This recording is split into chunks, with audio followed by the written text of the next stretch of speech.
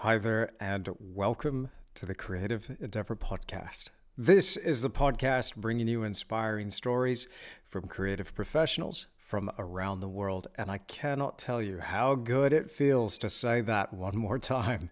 It has been such a long time between episodes here. I've been receiving emails and comments and messages through either my website or all over social media. Andrew, when are you going to bring back the Creative Endeavor podcast? We miss the Creative Endeavor. We want to hear that podcast again. You know, I, I sometimes I don't really focus on the views or the the listens, and and so you kind of lose sight uh, and, and touch with how many people are actually impacted by this. And whilst it's not a huge following, there's a few people that really love this podcast. So when I heard some of these and read some of these messages, I was, I was like, I got to bring it back. I can't just stop. I did stop and I apologize. I have no excuse.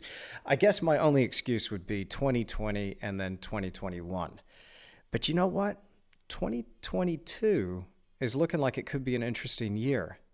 Now, if you're anything like me, I mean, I kind of I can get a bit down. I can get a bit negative. Yeah, the world's been rocked by a lot of stuff in the last little while.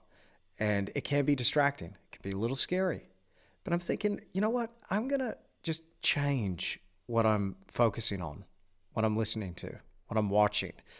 I'm going to change some of the stinking thinking that I've been doing and focus on purpose and creativity and my mission, which is really spending this time with you sharing creativity with you, trying to give you something to think about, trying to give you some solutions to some of the things that we're going to face as creatives going forward. And ultimately, that's what I hope to do here with this podcast. So let's call this the Creative Endeavor 2.0. And let's claim 2022 for a new creative start, a fresh start. This is going to be our year. This is going to be something extraordinary if we choose to make it that. Anyway, that's what I'm choosing to focus on. And I hope you'll join me with a new, inspiring journey forward and just kind of leaving that past where it belongs in the past. All right? Cool. I, I, am so I'm so pumped to bring you this episode. I couldn't think of a better person to bring back the creative endeavor with than my good friend, one of my best buddies, actually, if not my best buddy ever. I just love this guy. This is Samuel Earp. Now you might have heard of Sam. You're probably following him on YouTube. Uh, you probably uh, you might be following him on Patreon or social media. He he posts some great TikTok videos. I gotta say, and and some great little Instagram clips. I've been friends with Sam since about I think 2014, 2015 when we met, and he's an extraordinary guy. Now. I'm just going to warn you in advance. Like I, I, I'm a little bit alternative. I'm a little bit out there. You might not know that about me. I'm I think things and have some ideas that do go against the grain of the mainstream. I hope that's all right. The aim here with this podcast is to give you a glimpse into the sorts of things that I actually talk to my buddy Sam about. So, this is really just a window, a view into a conversation that I would be having anyway. And so, we talk a little bit about what's going on with the world. Uh, yeah, I got a bit of a different point of view on what the heck is going on here. Um, I also bring into it a little bit of my spiritual view, as does Sam. And this is one of my favorite things to do is bounce these ideas off Sam, and we just have a genuine exchange. And I find that that's where the growth is, kind of being challenged, thinking about things differently. It's Sam's that guy. You know, I don't know if you have a friend like this. If you're blessed like me and you got a friend like like this, where somebody can just drop something with you an idea or uh, it's something that, that represents a paradigm shift. Because that's what i'm finding here is that a lot of this stuff is a real paradigm shift. I'm finding that anyway. And i mean if it's health i found that that sam really got me thinking a different way with health. He got me thinking completely differently about money. And and if there's anything that we have hangups about as artists it's got to be finances right are, are you like me there? I'm a total flake with it. So Sam gets me to think about things, and and also he's a, he's an extraordinarily. You're going to hear in this podcast. He's a positive guy. He's a really positive guy. He doesn't focus on the negative. He focuses on solutions and and, and purpose and his mission and tries to cut those distractions out of his life. So I wanted to bring him on talk to talk to him about some of this crypto stuff. We even get into a little bit of NFTs. There's there's a kind of an interesting little challenge that we have for each other towards the end of this conversation, and um, yeah, also an opportunity to talk to him about his past, his beginnings, where where he started his creative journey. So this was this was a really fun conversation. And again, when we get into any stuff like cryptocurrency or even what's happening in the world, we really hope, I certainly do. I know Sam feels the same. We really hope we don't offend anybody here. That's not the point. This is just a genuine exchange of ideas, a, a real conversation. And even though some of these views might be different to your own if you're viewing this our, or, or listening to this, our intention is to just put out some honest content and and just share with you one of these conversations and hope that you might look into some of this stuff that we're talking about because if there's one thing that we know for sure 2022 like every other year that's coming our way is going to present some changes. And if there's one thing i've learned it's that anticipating change is one of the most important things that we can do as a creative. If we just adhere to the same model that has always worked when something comes through and changes and shifts the bedrock of society and, and the way the economy functions, industries disappear almost overnight. They're gone. I lost my business now twice, and it was a very painful experience trying to rebuild after going through some of these calamities. But ultimately, you do come through stronger if you learn the lesson. And so, if there's one lesson that I've learned, it's all about diversification. It's about anticipating change and changing and adapting and diversifying our approach having many irons in the fire, not just one. So there's a little bit of that talk in here as well. And let me just insert this little bit in here as well. Um, this might get into some financial stuff in this podcast, okay? Sam and I, we're not financial experts, we're not advisors. This is not financial advice. So if you're going to make any financial decisions, probably best don't base it on anything that you've heard here, okay? Do your own thing, do your own research, make your own decisions, come to your own conclusions. But we're just talking about what we're doing personally. And again, this is just giving a little bit of a window into the type of conversation I'd be having with Sam. Uh, personally, I'm doing particular things, but I'm not telling you to do it. And Sam is not telling you either. So make your own decisions, take responsibility for yourself as far as financial advice goes, hey, we're not in the business of doing that. We're just here having a conversation. Cool. All right. Let's that be said. And uh, we're cool. Excellent. Because the world's a weird place, right? You get that? Yeah. You're not weird. The world's weird. Yeah. Okay, cool. I was super inspired by the end of this conversation. Um, you'll hear that sometimes I, I do get a little bit dark, I do get a little bit negative, but Sam's just got this way of bringing me right back again. That's why he's just such a good friend of mine. I just, it's extraordinary.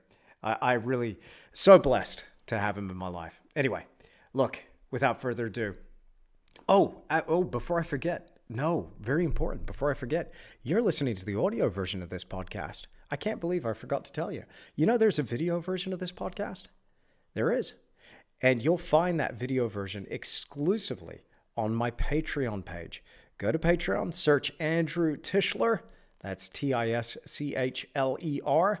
And you will find that on my Patreon page. For just five bucks a month, you'll get the video version of any podcast that I bring out. You'll also get exclusive Q&A videos. You'll get some critique videos in there. See, I'm really into painting, right? You might have noticed. Uh, I also put up extended versions of some of the videos that I share on YouTube. So if that sounds like something that you're interested in, there's hours and hours of content that I put out every single month, and the only place you can find it is on Patreon, and it only costs five bucks. That is a friggin' deal. I don't even think you can go out to get drive through for that amount of money. But think about the creative nourishment that you'll get off that pay. Okay, I'll stop. I'll stop. Stop. I see. I'm making myself cringe, and I didn't even bring my bucket. Okay, look. Without further ado, let's get stuck into this episode of the Creative Endeavor Podcast. It is so good to be back here with you once again.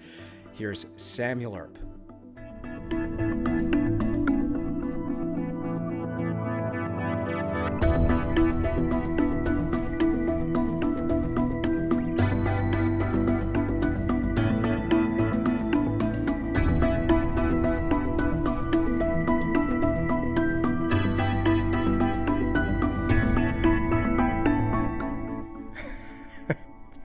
Samuel Earp, welcome to the Creative Endeavor podcast. How are you, my friend?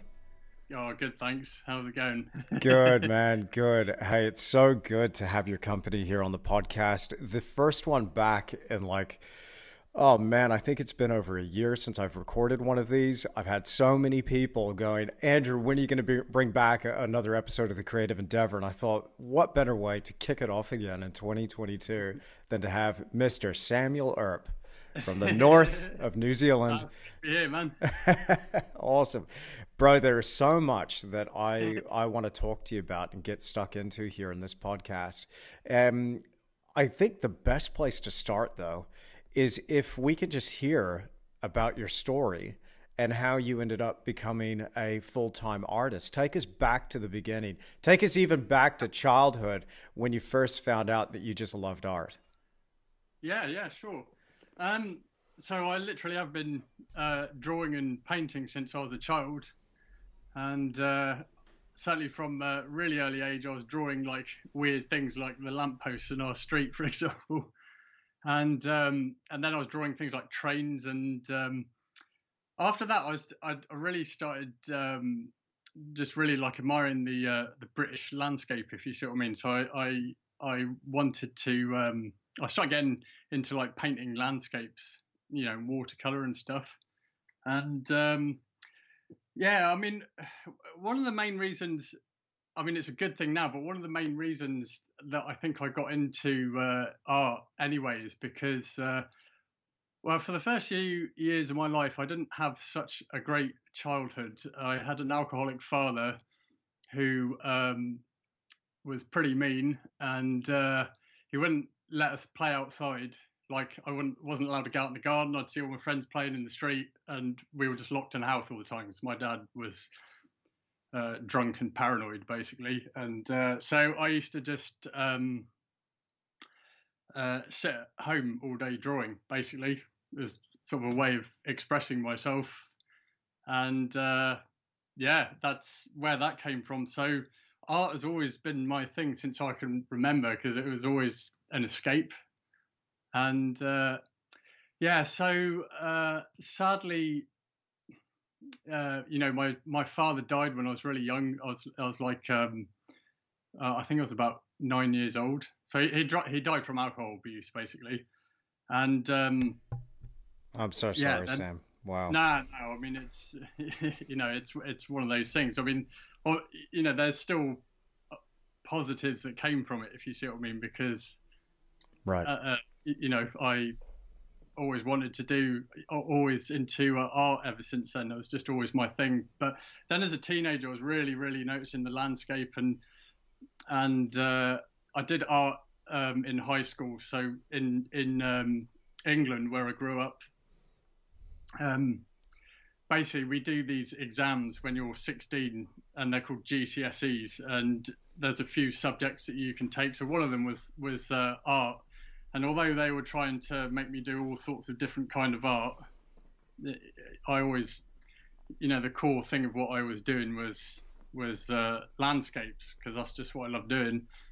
And um, and then I did art for A level, which is what you do after your GCSEs if you want to stay on. So you do that sort of between 16 and 18. I think they also call it sixth form as well. And then after that, you'd go to um, university so I did art for A level, and they were again. I was just it was always just landscapes and realism art, and that was what I was into. But then they were trying to sort of get me to do all this uh, abstract stuff, which I just could not relate to it at all. Just just not my thing. But yeah, overall, sort of generally discouraged from doing art anyway. Like loads of people going, "Oh, you can't make a living from it," and hmm. you know how the school system is. They just um, well, no wonder they're painting abstract. Yeah, yeah, and you know what? They're, you know the education system. They just like yeah. they're just trying to like indoctrinate you on and teach you to be poor, basically, and not follow your dreams. like, wow. Hmm. So, so anyway, after that, I um, uh, when I was about eighteen, I kind of like shelved the uh, the painting and I I stopped for quite a while. I I, I did go to university. I studied um, um, plant sciences, so because that's another interest I've had since I was uh, from quite a young age is interest in, in plants. still still interested in them.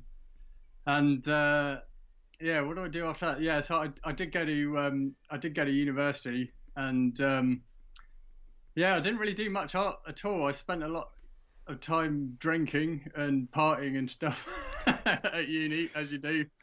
it goes with the territory sometimes, yeah. Yeah, I, I still did. I, I, still did all right. I, uh, I I got higher than a beer drinker's degree anyway. oh goodness me, Samuel Earp. Just to be clear for those listening, you would not recommend that type of behavior, would you? No, not at all. good, good, good save, good save. Yeah, yeah. So, so nah, this so, your your university degree, your studies. So your studies were in plant sciences, and then you came out of that yeah. with a with a degree, and um, yeah.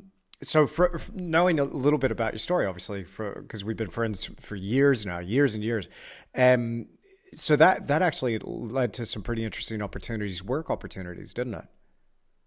Yeah. So, um, so what happened was I I um, you see I didn't really do that well at school. I mean, I, I did not have a good time in high school at all. I was like bullied all the way through school, mm. and I I wasn't particularly motivated either because most of the teachers were just boring the hell out of me.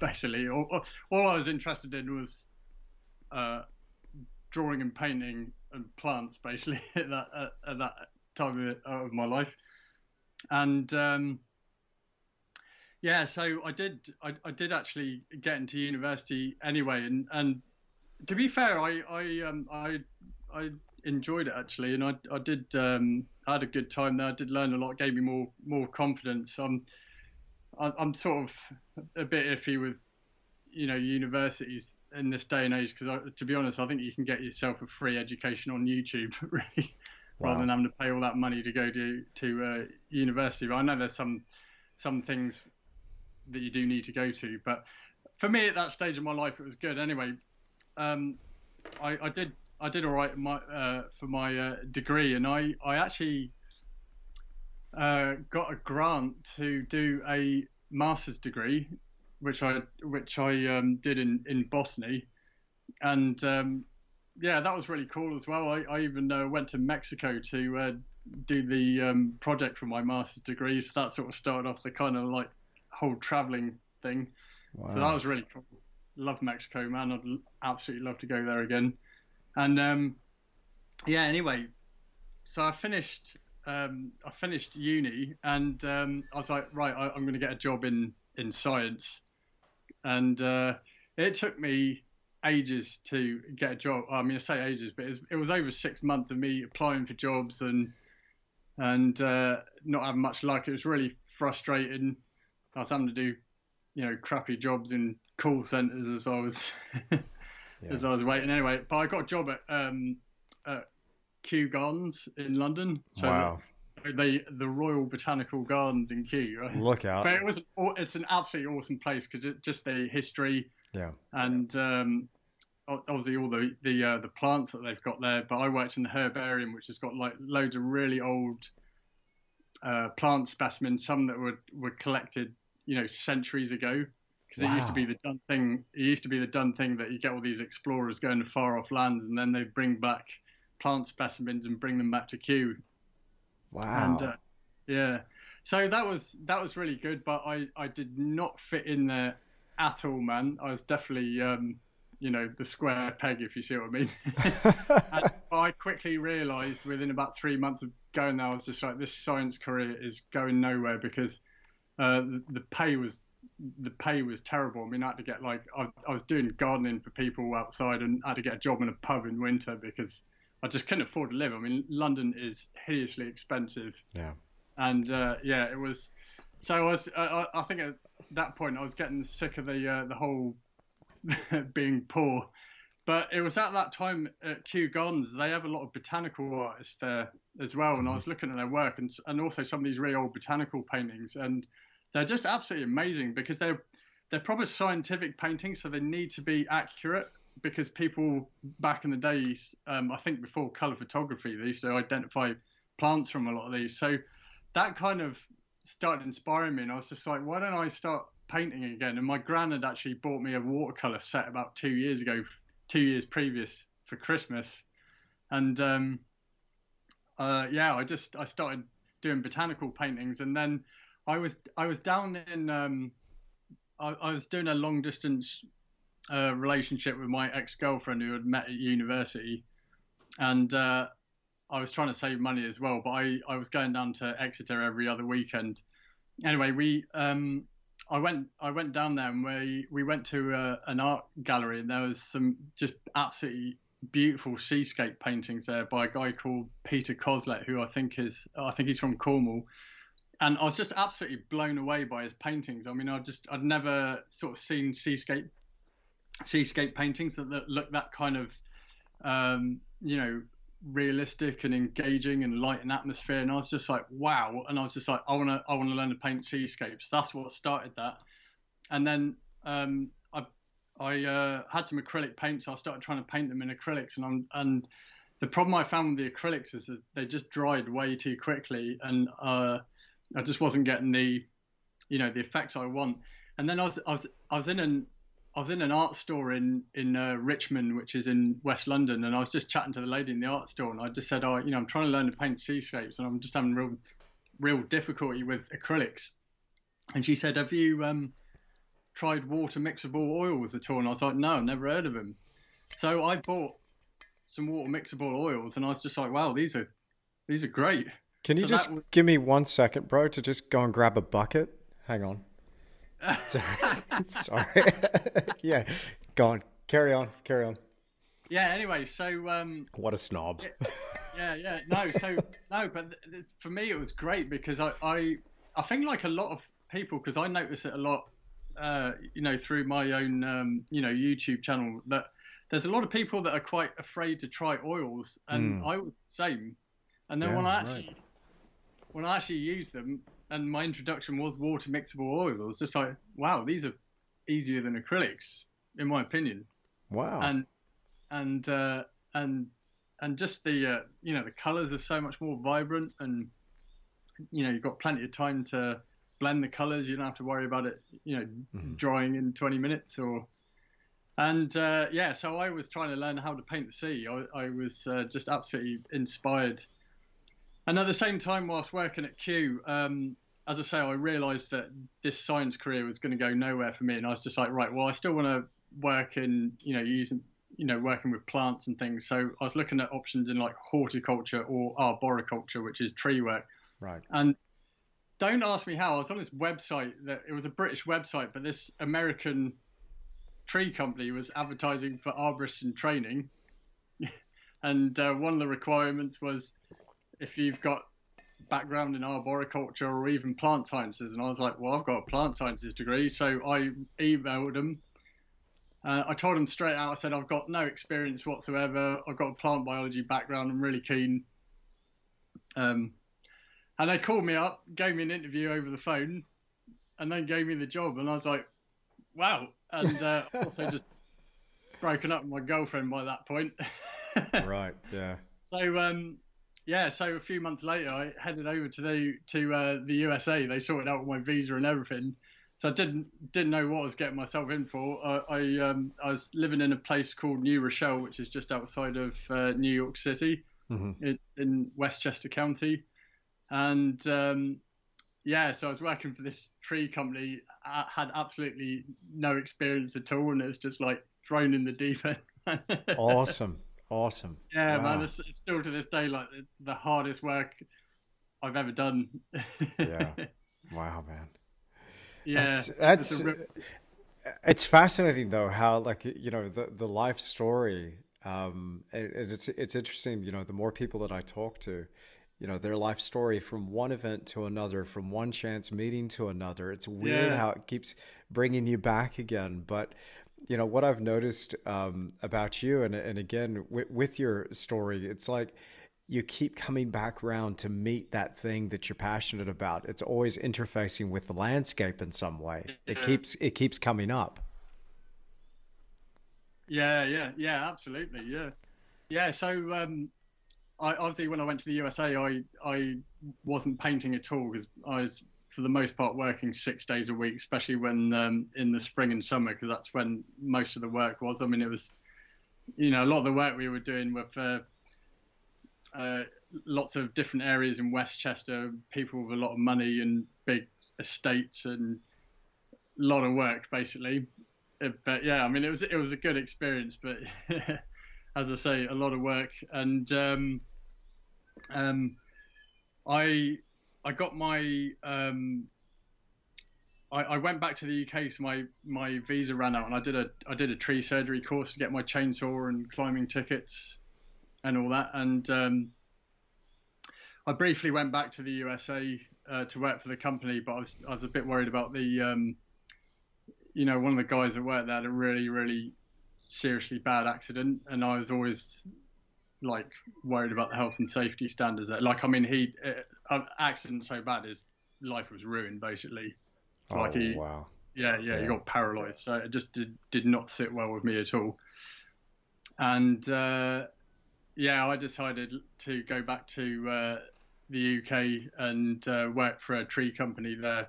So I went back to London. I got I got a job within a few days of being back, and yeah, got a job as a climber and uh, I worked for a couple of tree companies whilst I was in London. I was there for just over a year, and I was just was not really enjoying being back in England, to be honest. And uh, I was sick of London by that point, and um, I wanted to I wanted to just go overseas again, but it was just like the money.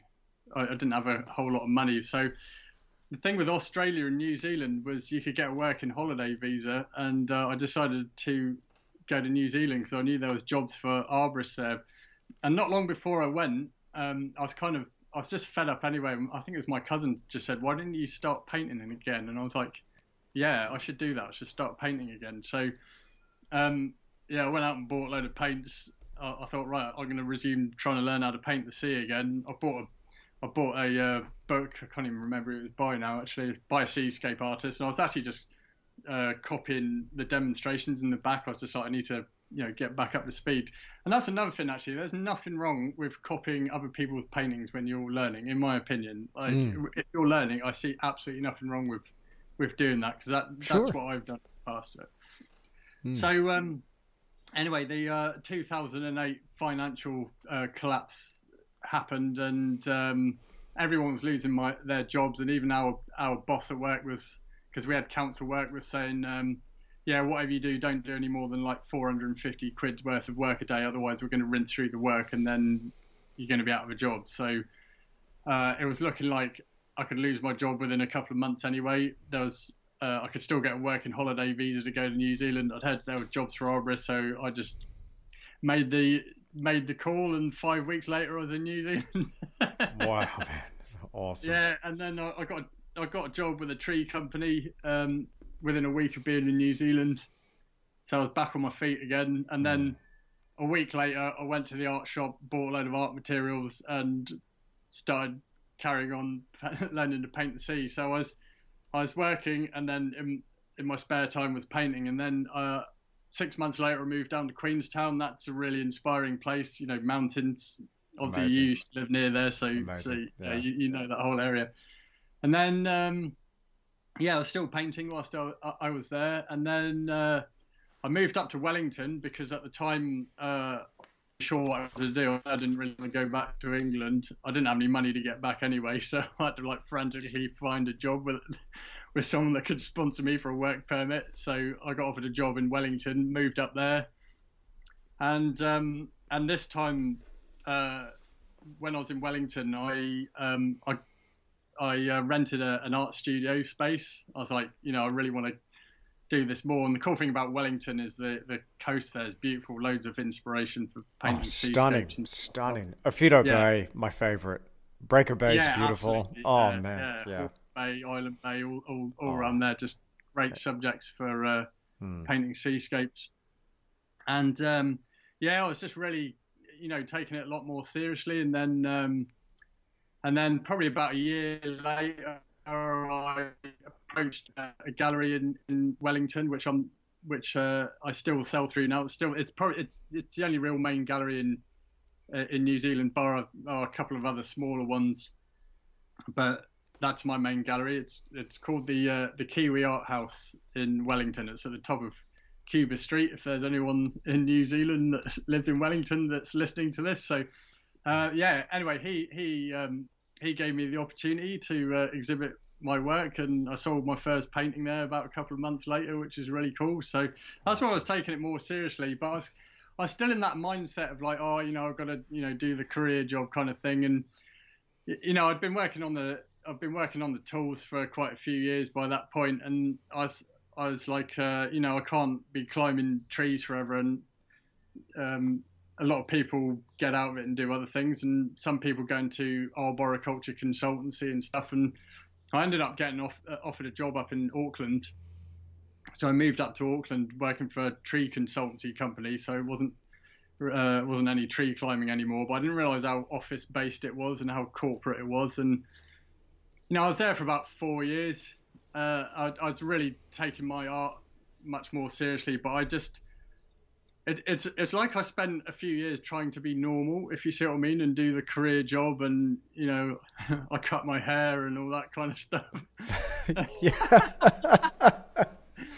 you know what I mean? I was just I tried to fit in and be normal, and it you normie wasn't wasn't working for me. And then I, I think by I think by 2014, I was just like I, w- I was pretty unhappy actually, and and uh, I was just you know, where's this all going? Yeah, man. And then um, I was I was starting to question a lot of things. I read this book by uh, Eckhart Tolle called A New Earth, which just sort of blew my mind open about you know things in the nature of our reality, and then and also it coincided with this documentary that popped up called The Hidden Secrets of Money, the, the biggest scam in history, and it in half an hour ex- explained quite yeah. succinctly how the uh, the uh, global banking system and the Federal Reserve works, and I was just like, that is the first thing I've ever watched about money that actually makes any sense to me. okay, we're gonna we're we're gonna get into it. We're gonna get into yeah, it. Was yeah. that the Mike Maloney video? Yeah, yeah. Okay, so anyway, we'll get into that. That's that's okay, yeah. phenomenal. So anyway, that's yeah, awesome. After watching that documentary, mm. I was just like, and I I started looking more into it, and I was just like, hmm, I'm not going to go anywhere by working for this company in Auckland and uh, working for somebody else, it's just gonna, it's you know, I'm just gonna be chasing my tail. So I figured, right, well, if I'm gonna be poor, I'd rather be painting. wow. And, yeah. Yeah. And at that same time, I was reaching out to other artists um, to see if they could help me because um, I've obviously, I haven't really, you know, I've never been to art school. I mean, I, I know, I know, I did, um, you know, GCSEs and A levels at school, but I don't really sort of count that if you see what I mean. I, know, I mean, it's like I never went to you know university to study art if you see what I mean. So I've self-taught pretty much and mm. books and obviously you know like your people like yourself and stuff have helped me. And uh, yeah, but at that point I I I'd, I'd uh, absolutely plateaued with my painting. I knew I needed help. The things were not working, and I reached out to a load of artists that I like, uh, most of whom wouldn't help me. And then I saw your work. I think I originally saw your work on Pinterest, and I obviously reached yeah, out yeah. to you, and mm. and uh, you're not only my favourite modern day painter, but you helped me as well. So oh, checks in the mail. you were actually really instrumental in changing my total uh, complete mindset. Because when we spoke, yeah. when when we spoke on on Skype, I think I think it was early uh. uh 2015. I think mm. by that point, mm. and and uh, you offered me the job of helping you with the art tours and yeah. in, oh that's right. Yeah yeah. Far out man. That, that just set a whole mindset yeah. and i was just like i'm going to focus on my art career. That's that's what i want to do. I don't want to uh, yeah it's coming back to me now actually gary I, I i remember that. I've got to tell you sam like i remember that time so fondly. And i remember i was i was actually visiting my father uh, in far north. Queens, Queensland in Australia, yeah. and and you and I had a Skype call, and um, I remember my dad like chiming in the conversation with a couple of quips here and there about his time with uh, with oh, yeah. uh, art galleries. I won't repeat it here for the podcast uh, because it's it's really grotesquely inappropriate. But oh, didn't? Uh, well, yeah, my dad's got a way of putting things. Um, but I, I remember that, and, and after putting down the phone, you know, and, and after the call finished between us, I, I was just I remember thinking, man, what a cool guy! Like instant connection, and and I consider yeah. you like amongst you know my closest of friends. And and yeah, uh, you know I can I can talk to you about anything. And and you are you're my brother. You're my brother. And I, and I you know I, have told you this off air and stuff but oh, there's there's a real there's a real um I don't know man there's a there's a connection there. And and I'll have to say you know it when you give me your story in the past and your history it's it's amazing how many of these things you know from your childhood from being bullied at school and and really essentially yeah. bullied at home too how it shaped you. And I, am starting to see this thing, and I, I kind of maybe it was me reflecting on this because the one thing that when I was wiped out by the global financial crisis, mind you, it wasn't in 2008 when it first struck, but it was it was years later when the fallout really yeah. hit. Um, I was thinking, my goodness, I, I I I have got to anticipate what's coming. I've got to anticipate change. But I tell you one way that I anticipate change. I talk to you because you're the guy that has always has always actually said, "Hey, look out for this. Check this out. Oh, here's something interesting." And the amount of paradigm shifts I've had in my recent years, do you know that the vast majority of them have come from talking to you? Like, okay, and, and, and, I'm serious here. Like, think about the health stuff. Yeah. The first person that ever told me about John Rose and Dr. Robert Morse, and by the way, this is not health advice, this is not financial advice, this is nothing. This is just me and Sam having a conversation here. But, you know, um, and, some of these philosophies and ideas might seem really fantastic, weird, wacky, and wonderful, and, and maybe really out there, uh, way out in the outfield. But I, there there was there there was a need for a shift in my life physically in terms of health and and these answers came like right at the right time, and yeah. um, you know that I found yeah, that I, I, found some of those people uh, by accident. I mean, like mm. uh, Robert, Doctor Robert Morse, who's mm. a, a naturopath and and is all about detoxification and stuff. I found through a cryptocurrency channel by Amazing. accident. Yeah. Although no accident.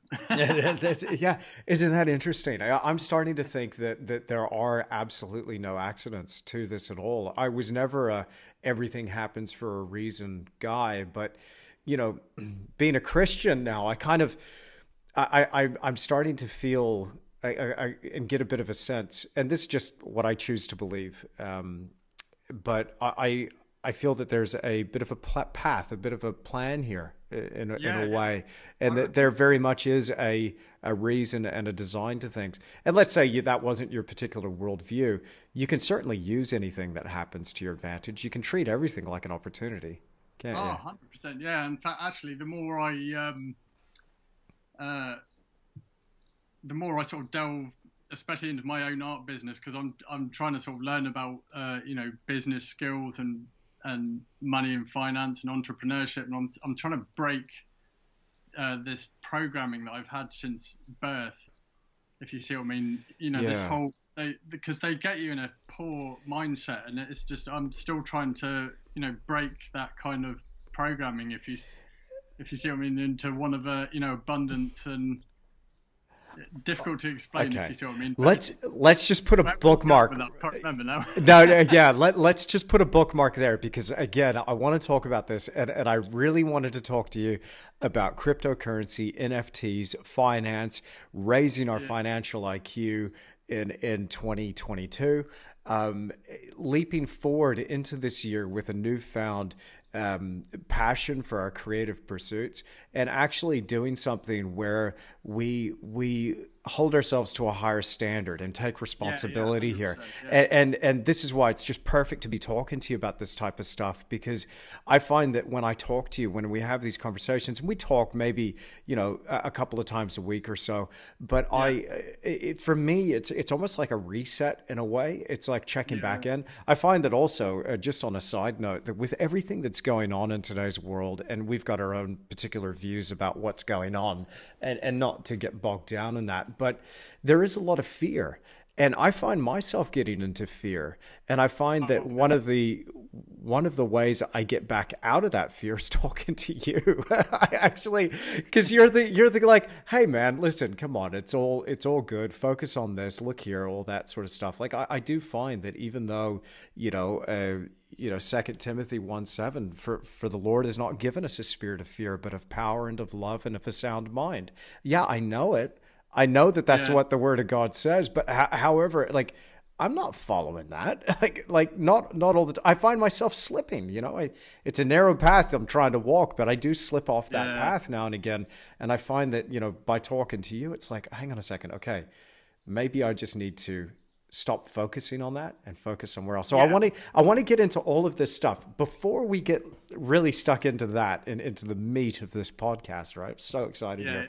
Before we get stuck into that, I, I want to just hear more. So so you you've you've had this real interesting path that has led you up to this point now.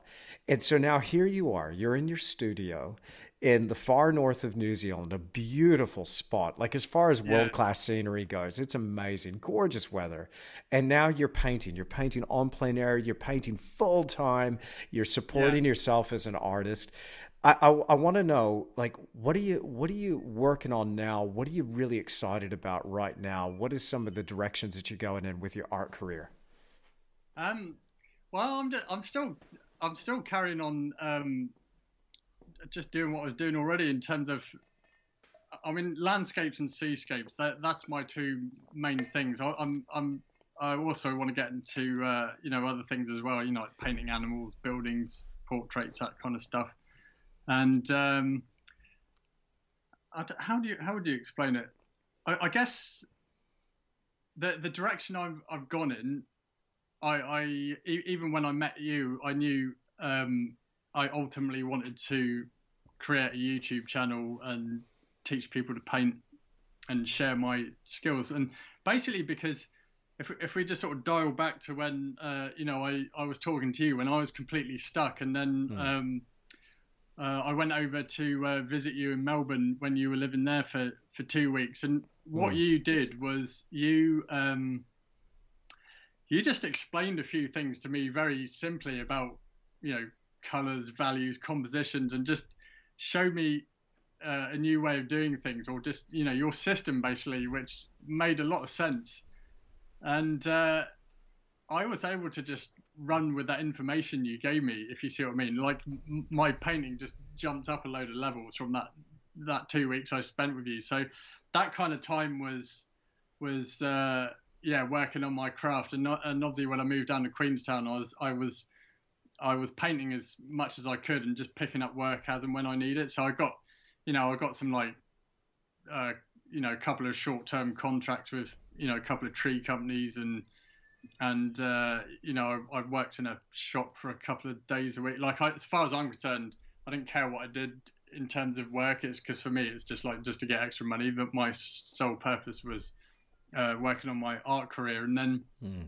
you know I started my YouTube channel four years ago, and you know in hindsight, I, you know I wanted I probably could have done with like waiting another couple of years, but at the same time, man, just I, I, think you should just start where you stand. You, exactly, you know, just start. I just wonder, even if you, you know, even if you're an artist and and uh, you're really just learning, I, I, don't see any harm just starting a YouTube channel and just going here, follow my art journey, and you could, you know, pe- people find that stuff interesting. I think. Yeah. And, uh, oh, for sure, yeah. man. Yeah, for yeah, sure. Yeah, there's so many people that are. Uh, sorry, I'll just. I, I just want to insert yeah, yeah. this. If the, there's so many people that are that are waiting to be ready. I've even talked, uh, even on this podcast, to to some people that are like, I'm like, why aren't you on YouTube? Why aren't you sharing what you know? Oh, I'm not ready. I don't have this. I don't have that. I'm like, you just start with what you've got. It's like I'm talking exactly. to you, aren't I? You've got a laptop, right? Okay, I've seen you on Instagram. You got a phone. Film on that. Like, just exactly. do it. Just do it. Like I I got my first bit of um, kind of I, I, was I was doing a search on how to make YouTube videos, and I found my the the the one that was really. Don't ask me how I found it. I'll tell you how I found it. I, I, I did a I did a little YouTube search on how to make a YouTube video, and the first thing that came up was a, a girl who was doing lookbooks and makeup videos, And Yeah. she said, I use a Canon 700D. I like this camera because I can take the screen, reverse it, lift it out so I can see myself on the camera and I can frame it and all Yeah. that. And I was like, cool, good enough for me. I bought one. I thought, this is a great little camera. I bought another one. And then I just started adding to the gear, but I started with one. That's it. Yeah, yeah, yeah, exactly. Yeah, yeah. You just uh, start with what you got, and then, well, wasn't it in um, in Napoleon Hill's book Think and Grow Rich, where he just said, start where you stand, use the tools you got, and better tools will be found along the way. I'm sure it was him that said that. It rings a bell. Uh, I've heard a lot of people say that as well, though. Like, I mean, from Tony Robbins to Brendon Burchard Yeah. to to a lot of people. I mean, and you know, Demartini as well. Just just using the resources that are around you. Um, it's this feeling of of scarcity and lack. It's like I don't have the resources, or I I'm not ready yet Yeah. within myself. It's like, look. And and and I I actually was really inspired by by Dr. John Demartini's story when I back in the day when I was into all the new agey type stuff. I, I'm so not anymore, but I mean, it served a purpose for a time, I suppose. But I was I was listening to some of his stories, and one of them was he was taking uh, college classes, and he was turning around and teaching what he was learning in college and and that was a way for him to accelerate that information and then again separately you know since i'm name dropping here for uh for new age teachers i think it was uh, and, and again it's it's an old saying but um uh, Bob Proctor was saying, uh, "You don't understand something until you can explain it to somebody else, so that they may understand." And Yeah. and you know, it's like Demartini was taking that to a new level. Here he was accelerating his understanding by turning around and explaining it to somebody else. You know, it, it, caused him to step up and own that information. Yeah. Um, so if you know a little something about something, teach it, see where it takes you. Um, Yeah, the, the opportunities are there, man. There's and, and the internet's a big place. I don't think people Oh, realize yeah. it's like, oh no, it's already saturated. Rubbish. No, Yeah, get in, absolutely. do it. Yeah. Yeah, no, I mean, well, that's part. That's part of the reason also my YouTube channel because um, it's it, it actually helps me learn when I try and teach it to other people. So, Absolutely, man. So Yeah, my yeah. my unit my YouTube channel it benefits me as well. Hmm.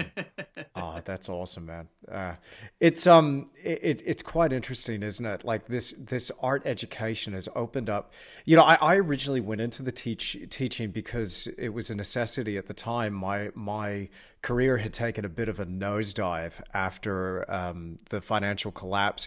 I was taking a period of years that I, I was trying to rediscover who I was, what my artistic voice was. Yeah. It was a very bizarre situation to be in because I'd I'd achieved uh, quite a level of success within a very small niche, and I had painted myself into a corner, so to speak, Yeah. in that I had this you know big, bold, expensive work that would not sell, and here I am with paintings like in excess of you know ten thousand dollars just lying around. I can't drop the price because the market would just have eviscerated me. And I was always taught Yeah. from the beginning, don't do that. And I'm like, what have I got to do? I said, I will go into teaching. I have to teach now. I loathed the idea. I never would do that. I and I, I was I always had this really bad idea. You were talking before about programming, right? I had this Yeah, yeah. terrible idea in my mind that those that can't teach. I'm like, man, that is such. And, and so I, I, st- I went into it thinking, oh, I'm such a hypocrite. And I I started teaching, but then I realized I love it. Dude, I Yeah. love actually just sharing it with because it's like that that moment that you were describing before of explaining to you just a couple of fundamentals. Nothing gives me more joy than Yeah. giving somebody say this is what happens when you check out what happens when you mix that quinacridone magenta with your cadmium lemon, right? Right. Yeah. What what kind of red do you get there? Isn't that cool? Isn't that cool? And then Yeah, you yeah, see you Oh, see yeah, them just go bing and the light bulb goes off and it's like wow. And i said okay look look you see where the tree is in the composition? Yeah dead center. Okay fantastic. Now if you shift your mountain over to the right and that tree over to the left what happens? Ah balance asymmetrical balance. See that? And they say and by the way here's where it shows up in the old masters. It's not mine. I, I have no ownership of it. And i i feel you know when you we I'll shut up in a second. Uh, but I I feel when you're when you're when you've got this information, it's a bit like money in a way. It's a bit and Yeah. it's it's interesting they call it currency. because it's like Oh, a yeah. current of the sea, Yeah. right? It, there's a flow to it. Information's the same way. If you try and hold on to that and say, "No, these are my secrets," mm," and, and and you you hold on to it, you break that flow. You know. Yeah. Um, and and so I, I found very quickly that um, by passing off what I uh, passing on what I what I felt I had I known or, or gained some knowledge in that area by passing it on, I suddenly got more knowledge, and it, and it was reinforcing yeah. that stuff. It's so interesting, Yeah. man. Yeah, it's a, it's a shame that they're. I, I mean, as I say, like when when it was 2014, I was reaching out for help. That there were, you know, there's a lot of people that just, lot of artists that just didn't want to help. It's like it's like they were saying, they're like sort of closely guarding their secrets, and it's just Yeah, it's, it's, it's kind of I think that's a sort of ridiculous way of thinking it because even if you share everything you know, which I think you should anyway, like whoever's trying to whoever p- takes on that information, if you see what I mean, right? I mean their painting style is going to be completely different anyway. It's it's not it's really not going to matter at all. no, no. I also don't think it's the right attitude either, but yeah. It's it. I- I've I've been around all sorts, but there were there were a couple of characters. I'll mention one guy. It was it was a dear man. Sadly, no longer with us, but his name was Michael Challen, and he Yeah. he was a pretty big name in WA there for a period of years, probably around 20, 30 years. He had built quite a career for himself, and then towards the end of his career, he was uh, extraordinary. He died way before his time, but extraordinary painter and, and stupendous prices. And I remember looking at him like it's still like one of the exhibitions that I that I saw. Um, he had an exhibition in the lobby of a building called it was the Woodside Building, Woodside Oil and Gas on St George's Terrace in Perth, in Western Australia. And I remember in my university days or shortly after, just just walking into that exhibition and I caught it on an off day. There was a photographer in there documenting the work. No one else was around, and I could really take my time with the paintings. And I remember walking into that space going, I want to do this for the rest of my life. This is the best show I have ever Yeah. seen. And when I got a chance to meet him in person, the first thing he did, it was, it was funny. He was a bit, he was a bit hocus pocus, but a sweet guy. He grabbed my palm and he was like looking at it, going, "Oh yeah, no, you've got a strong creative journey in your life, you know." And I was like, "Oh, okay, this guy's a bit interesting, sweet guy." But then he, then he said to me, he said, "Oh, let's have a look at your paintings." And I, because I had actually had some paintings showing in the gallery where he was showing, Yeah. right? And he looked at my paintings, going, "Oh no, very accomplished, you know, for for your age. No, this is great." I was, I was a young dude then, and um, then he said, "Look." Your palette's really muted. Why don't you try this? And it was the first time that I heard about the phthalo green, Van Dyke brown, and permanent magenta. I've adapted that now to, Yeah. you know, the burnt umber deep quinacridone magenta and either phthalo green or phthalo turquoise. But that combination uh, to make your rich black, and then you can push it in multiple directions. Yeah, now yeah. suddenly I had dimension within the shadows, and here's this guy giving me one of his secrets, and I was like, "Thank you." What? you, what? How much do I have to pay you for this? Like what? It's like no, just here. Let me let me help you. I'm like, wow, it was incredible. I, I was just thinking, dialing back to the. I've just realised we, we went uh, a, a bit off track actually with your original question about what I'm working on at the moment. Uh, welcome to the podcast. This is uh, this is a series of dirt roads into the middle yeah, of we go- nowhere. Go off on tangents a lot. Yeah. yeah, I'm I'm um, uh, at the moment I'm working on a um, a series of seascape paintings. I, I've actually your work inspires me again, and um, That's fine. yeah, I love it. I'm creating a load of um, seascape paintings at the moment. But yeah, I'm just sort of, um, I'm really just continued just chipping away at my, you know, my business, get more content out, getting more videos up there. I want to write some, um, you know, books on painting at some point. it's just, it's having, uh, there's like so many things I want to do. Uh, Yeah, and it's just like there's not enough hours in the day at all Right. as Right. well. But, and, uh, It- you know, I'm a Mm. father as well, if you see what I mean. So, uh, you know, uh, having the family, obviously, that takes up quite a bit of time as well, and Hmm. absolutely awesome though. uh, uh, yeah, I, I'm so, I am so happy to now be in the dad club. Uh, yeah. I, for for people that are listening to this for the first time in a long time, um, yep. So my son was born about three months ago, and I remember you telling me uh, when when Rachel, my darling, was was pregnant. You're like, get ready, get ready, get as much. I remember you saying, "Dude, get as much done right now as you can, because yeah. life is not going to be the same." And then the last warning I got from you was like, "Okay, when they start crawling and walking, keep a really close eye on them." yeah, man. Yeah, well, I, am actually in the same kind of um, boat at the moment because we've got another one on the way. So, which yeah. I think is due in about two months. So it'll be our, our second child. But wow, amazing. My, my, um my son, he's he's three and a half years old at the moment. So. oh, he's, and he's such he's a gorgeous. he, uh, the, the, he's such a gorgeous little blondie, Theodore. Yeah, he's, yeah, yeah. he's a real cutie. Yeah. Oh, this is this is incredible. You know, so so with with life kind of stepping up and and of course you've got to make that dad time, that husband oh, time 100%. and and and that, to me that that's my priority and but I, am starting to think about this now because having moved now to a new location, uh, thinking about my career and, and what what I can do with with the year and the opportunity that I'm presented with now, I'm thinking more yeah. and more. It's like I've got to find a new way of structuring my time. You know, how do I yeah. how do I get this? How do I get it done this year? Because now I've I've just added more into my plate. Um, yeah. It's even yeah, causing me to look at my health again and go, I, I don't have the energy I need. How can I change my habits here to have more energy? well, eat a lot of fruit for one yeah. in the morning. That always gives you loads of energy. mm. um, yeah, I know exactly what you mean. I mean, I I try and plan my days as best I can, but then quite often they don't go according to plan. And certainly when you have kids, I, am frequently in situations where I have to like drop everything. yeah. yeah. But no, it's all good. And uh, yeah, a, a, lot of the time um, as well, you know, when I've got errands to run, it's I, I, can just bring my son with me anyway. He's always coming out on little adventures with me, even even when I'm, you know, going out and getting reference photos and stuff of paintings and. It's cool. oh, it's awesome. It.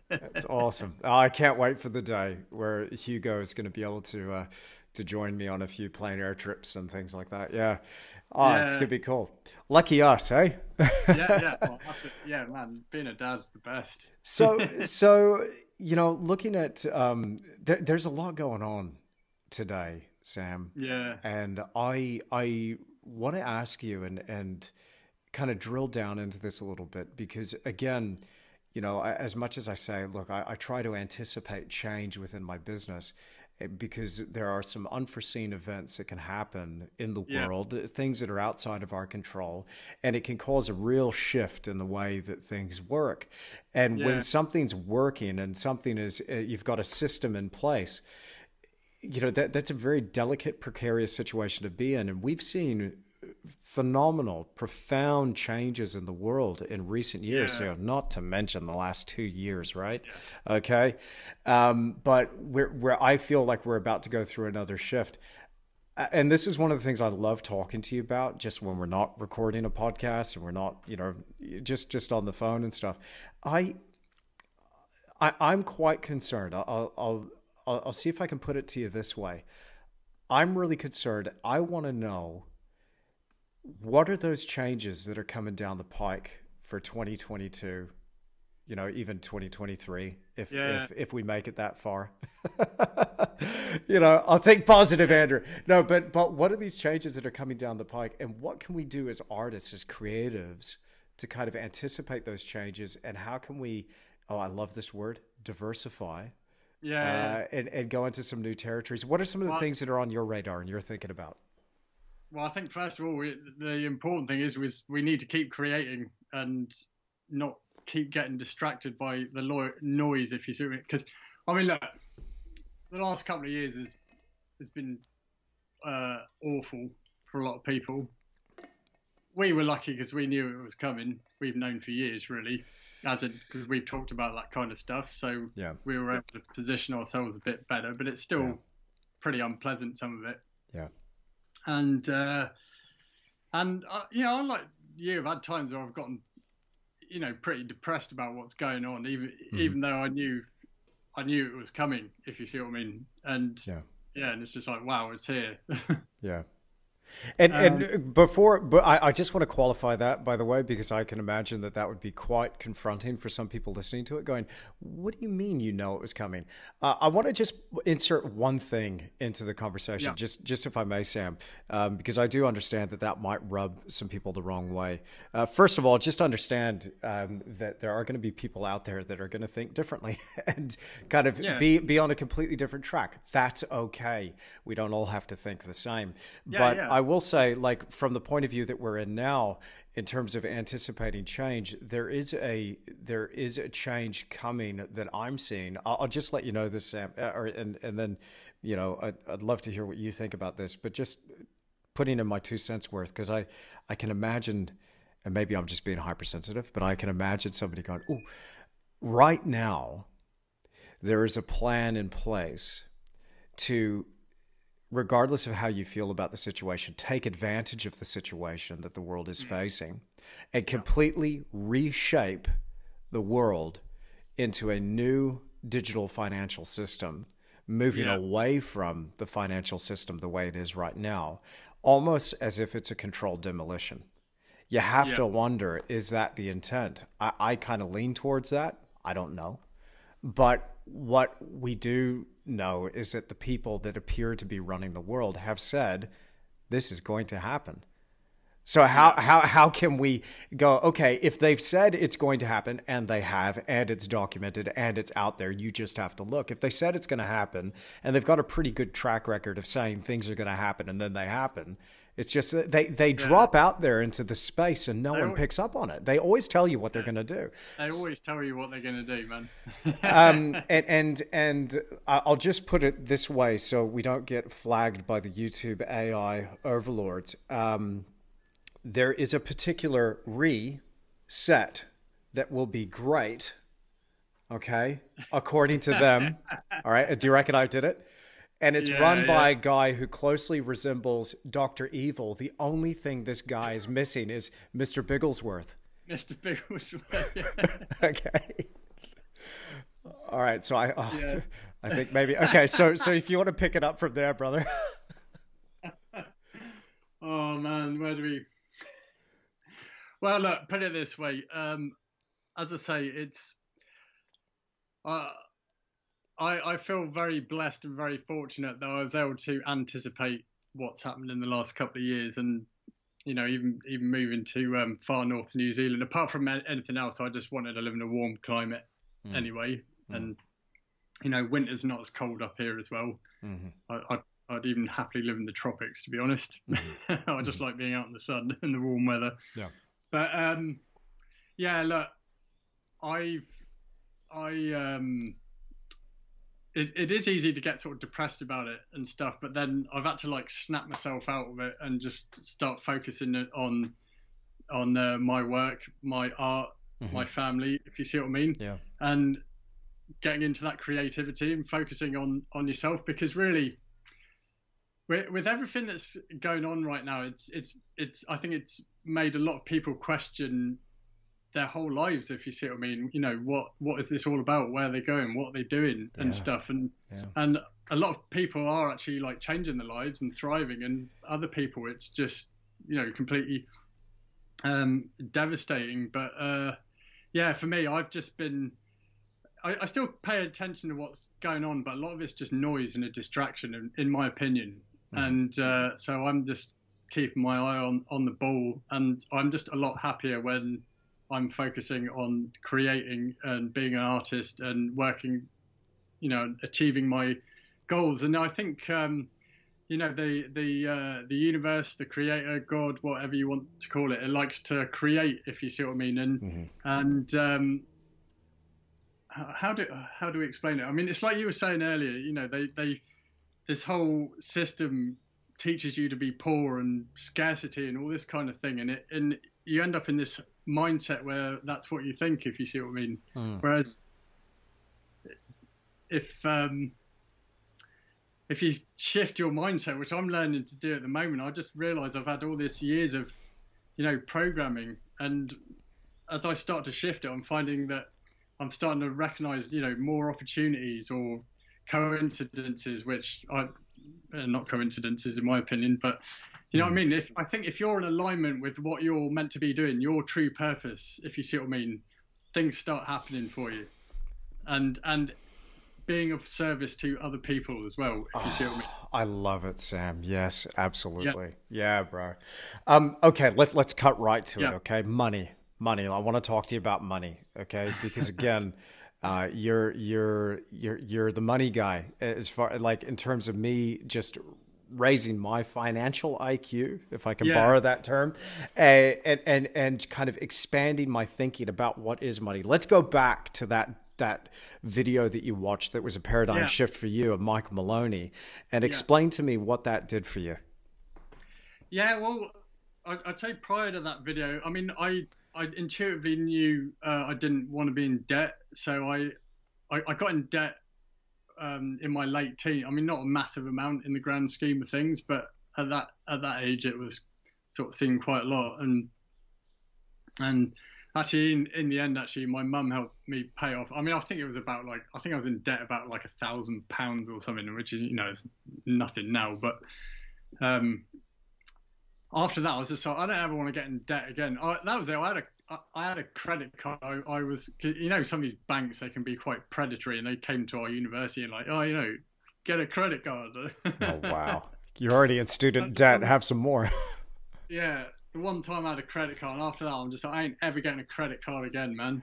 Yeah. Damn. And uh, so after that, I I was just like, I I don't want to be in debt, and you know, I worked. I got in the you know doing the tree stuff, and I was always trying to like save money and uh, you know have some savings to fall fall upon, fall back on, and then even in you know even in New Zealand, I had you know a little bit of savings, but nothing significant. Even when I even when I um, met you, but the whole thing with money, it just sort of seemed like a a whole. I, I was just like, I'm not smart enough to understand this because, you know, in the mainstream media, they've got these like economists and stuff, and I, I feel like they just overcomplicate everything. So it's like they try and make it sound complicated so you don't understand it, but they don't tell you how it really works. If you see what I mean, that i.e. the fact that we have a fiat currency system where money is literally created out of thin air, and they, you know, over the years and decades, they just keep on printing it and printing it, and it uh, dilutes the, um, you, you know, the the purchasing power of the currency and then have the illusion that the prices are going up. And and uh, when when what that documentary did, it was one second. Pause. Pause. Pause. Sorry. Sorry. On that, on that, I'm so sorry to interrupt, Sam. Very rude of me, but but yeah. didn't I hear that within recent history that there was another 6.2 trillion dollars inserted into the financial system? What does that do for our individual purchasing power of any given currency? Now that that's U.S. dollars. Doesn't yeah, that that affects us here in New Zealand? It affects you, and if you're in the oh, UK yeah. or in Australia.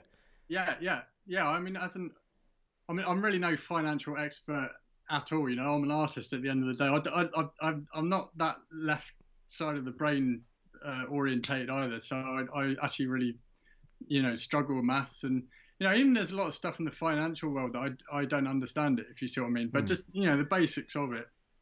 But yeah, as I'm, I'm pretty sure isn't like the you know the U.S. dollar since 1913 when the the Federal Reserve was created, hasn't it lost something like over like 94% of its purchasing power or something? I mean, it's something, yeah. Some, like it's a, that's insane that, to think about it, you know? Yeah, yeah, yeah, and um, and uh, yeah.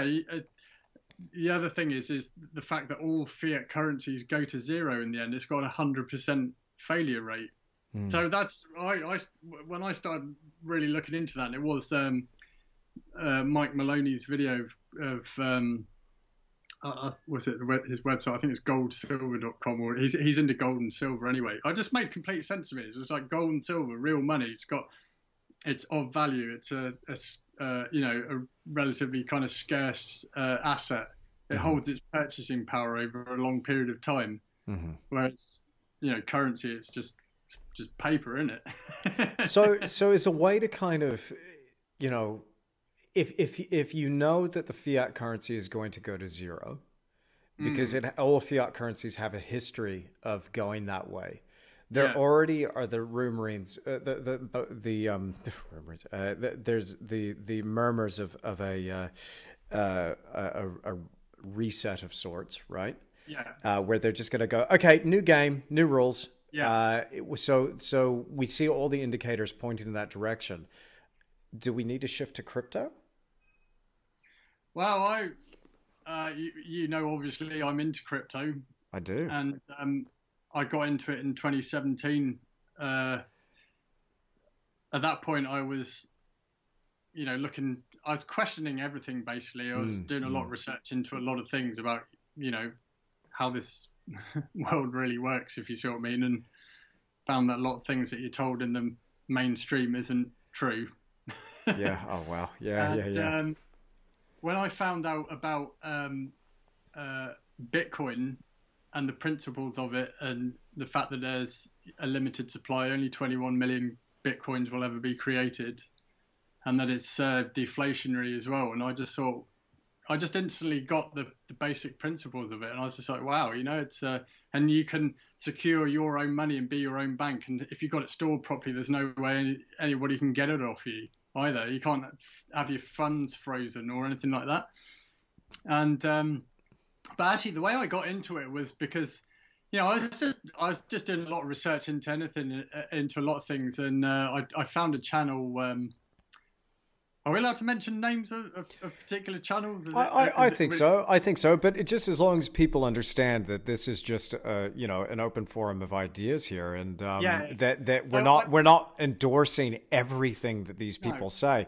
I, I see my my my personal take is I, I listen to everybody and I, I try to take Yeah. uh, what I think is applicable and makes sense to me, and I, I don't endorse fully or agree with fully no. everything Not that at all. anyone says. Yeah. You I know. mean, you know, I I I. But go for it. Mention the name. I, I even, you know, listen to people like uh, Peter Schiff, who's into gold and silver, and he absolutely hates crypto. But I want to hear his reasons why he hates it as well. Like I don't, Yeah, fair enough. Yeah. yeah. yeah.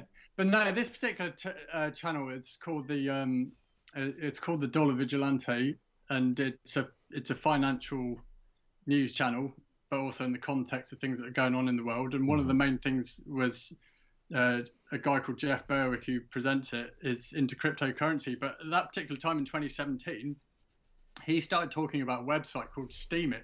Hmm. And Steemit, it's it's basically like a blogging platform that's backed by a cryptocurrency called Steem. And I, I he did a whole video on how to use it, and I I, I opened an account with it because at the time they were even giving you free Steem uh, to join it, and I was just like, this is cool, man. I was I was like, I started posting my art to it and found that there's a whole art community on there.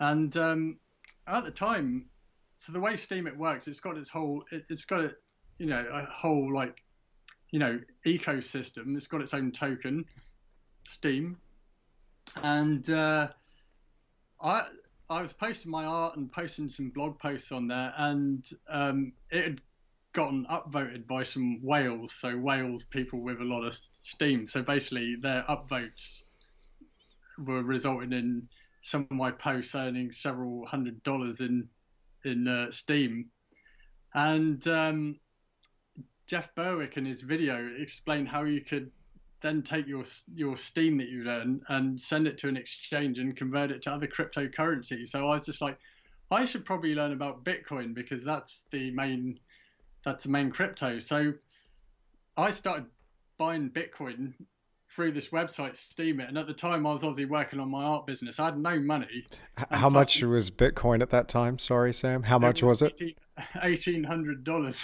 You're crazy. You would buy it at eighteen hundred dollars? That's so expensive. What's it now? And those are the days. Well, it's just at the time of this recording, the market's just had a massive dump. So when I checked it this morning, uh, I think a bit, one Bitcoin is worth thirty-eight thousand dollars. So the, the Oh, okay. market's having a correction at the moment. Yep, It just, you know what? It does it all the time. It doesn't even. It doesn't phase me at all. I mean, that's the thing with these um, Hmm. uh, market corrections when they when they really dip. That's when you want to buy because you you know it's, crypto's on sale if you see what I mean. Didn't it I mean, get to um, didn't it get to sixty three thousand dollars or sixty four thousand dollars? Was that US yeah, or New Zealand dollars? A few months ago, it had an all time high. I mean, I, I think yeah. I personally Bitcoin is going to do well in, in, in the long yeah, run because it just the whole cryptocurrency space and all the new things in it is just such a paradigm shift and just such a shift in the way we've sort of traditionally, uh, you know, traditional banking, if you see what I mean, and and mm. um, you know, at the end of the day, if if uh, the banking system, fiat currency, is so great, then there wouldn't there wouldn't be a need for people inventing cryptocurrencies. So that's the way I see it. Anyway, um, mm. going back to uh, Steemit. Anyway, um, yeah. So at the time, 2017, it was actually really difficult to buy Bitcoin. I was I was having to, I was buying it from a website called Local Bitcoins. So it's basically other people in the country that got Bitcoins for sale, but the fees on it were absolutely massive. And you know what? I mean, back in the day, if I had the money then, I would have bought a lot more. But I mean, I was money, you know, working my business, which I didn't know if that was going to go anywhere or not. And and uh, but I could just, I could just, I could really, really see the potential in it. And just with every the information I was learning, plus you know, Steam. it's a, it, it was a great site, and there's just all these, you know, I was finding like a whole community of of people that are just in, into um, you know freedom, sound money, um, you know entrepreneurship, capitalism. I mean, you know proper hmm. capitalism, not the not the crony capitalism we got. You know, and capitalism's demonized and stuff. But to me, I they I could see how uh, cryptocurrency and some of these websites, some of these social media websites that are backed by crypto could help artists and mm-hmm. you know mm-hmm. possibly generate a wealth effect and all that kind of stuff. So I yeah, I just it just really excited me basically, and um, I'm I'm not very technology minded, but I I can often see the bigger picture with a lot of these things, even if I even if I don't know the ins and outs of how it works. If you see what I mean. Sure. Yeah. So um, despite all the uh, it's funny, despite all the naysayers, because I, uh, you know, I even had people laughing at me in 2017 when I said oh, I've been buying Bitcoin or whatever, and they, they thought it was funny. And I'm just saying, I, I said I think it's going to be huge. And yeah, last yeah. year, I some of those same people were asking me how to buy it. oh wow! Yeah, yeah, yeah, yeah. Yeah, it's it's interesting. Uh, you know, so something I'm thinking about now because again, anticipating change, watching these shifts, I'm thinking yeah. about um, integrating that into the, to my website is saying, okay, yeah. you could you could check out this way, or here's my Bitcoin address, and yeah. and trying to integrate more of the cryptocurrency side of things. I'm also really interested in some of these privacy coins like uh, Pirate Chain and Monero, yeah, yeah. Um, because I think one of the things that gets me, I won't tell you how much it was, but I just got my tax bill, and I'm like and I, I, was just sitting there, just kind of leaning back in the chair, just scratching my head in such a funk and talking to Rachel about this, just going, How much do we have to pay? And she's like, This much. I'm like, Are you serious? What? Yeah. Where is that going to come from? She's like, no, no, no. It's already, it's already there in the account, but it's, it's, uh, and it's gone.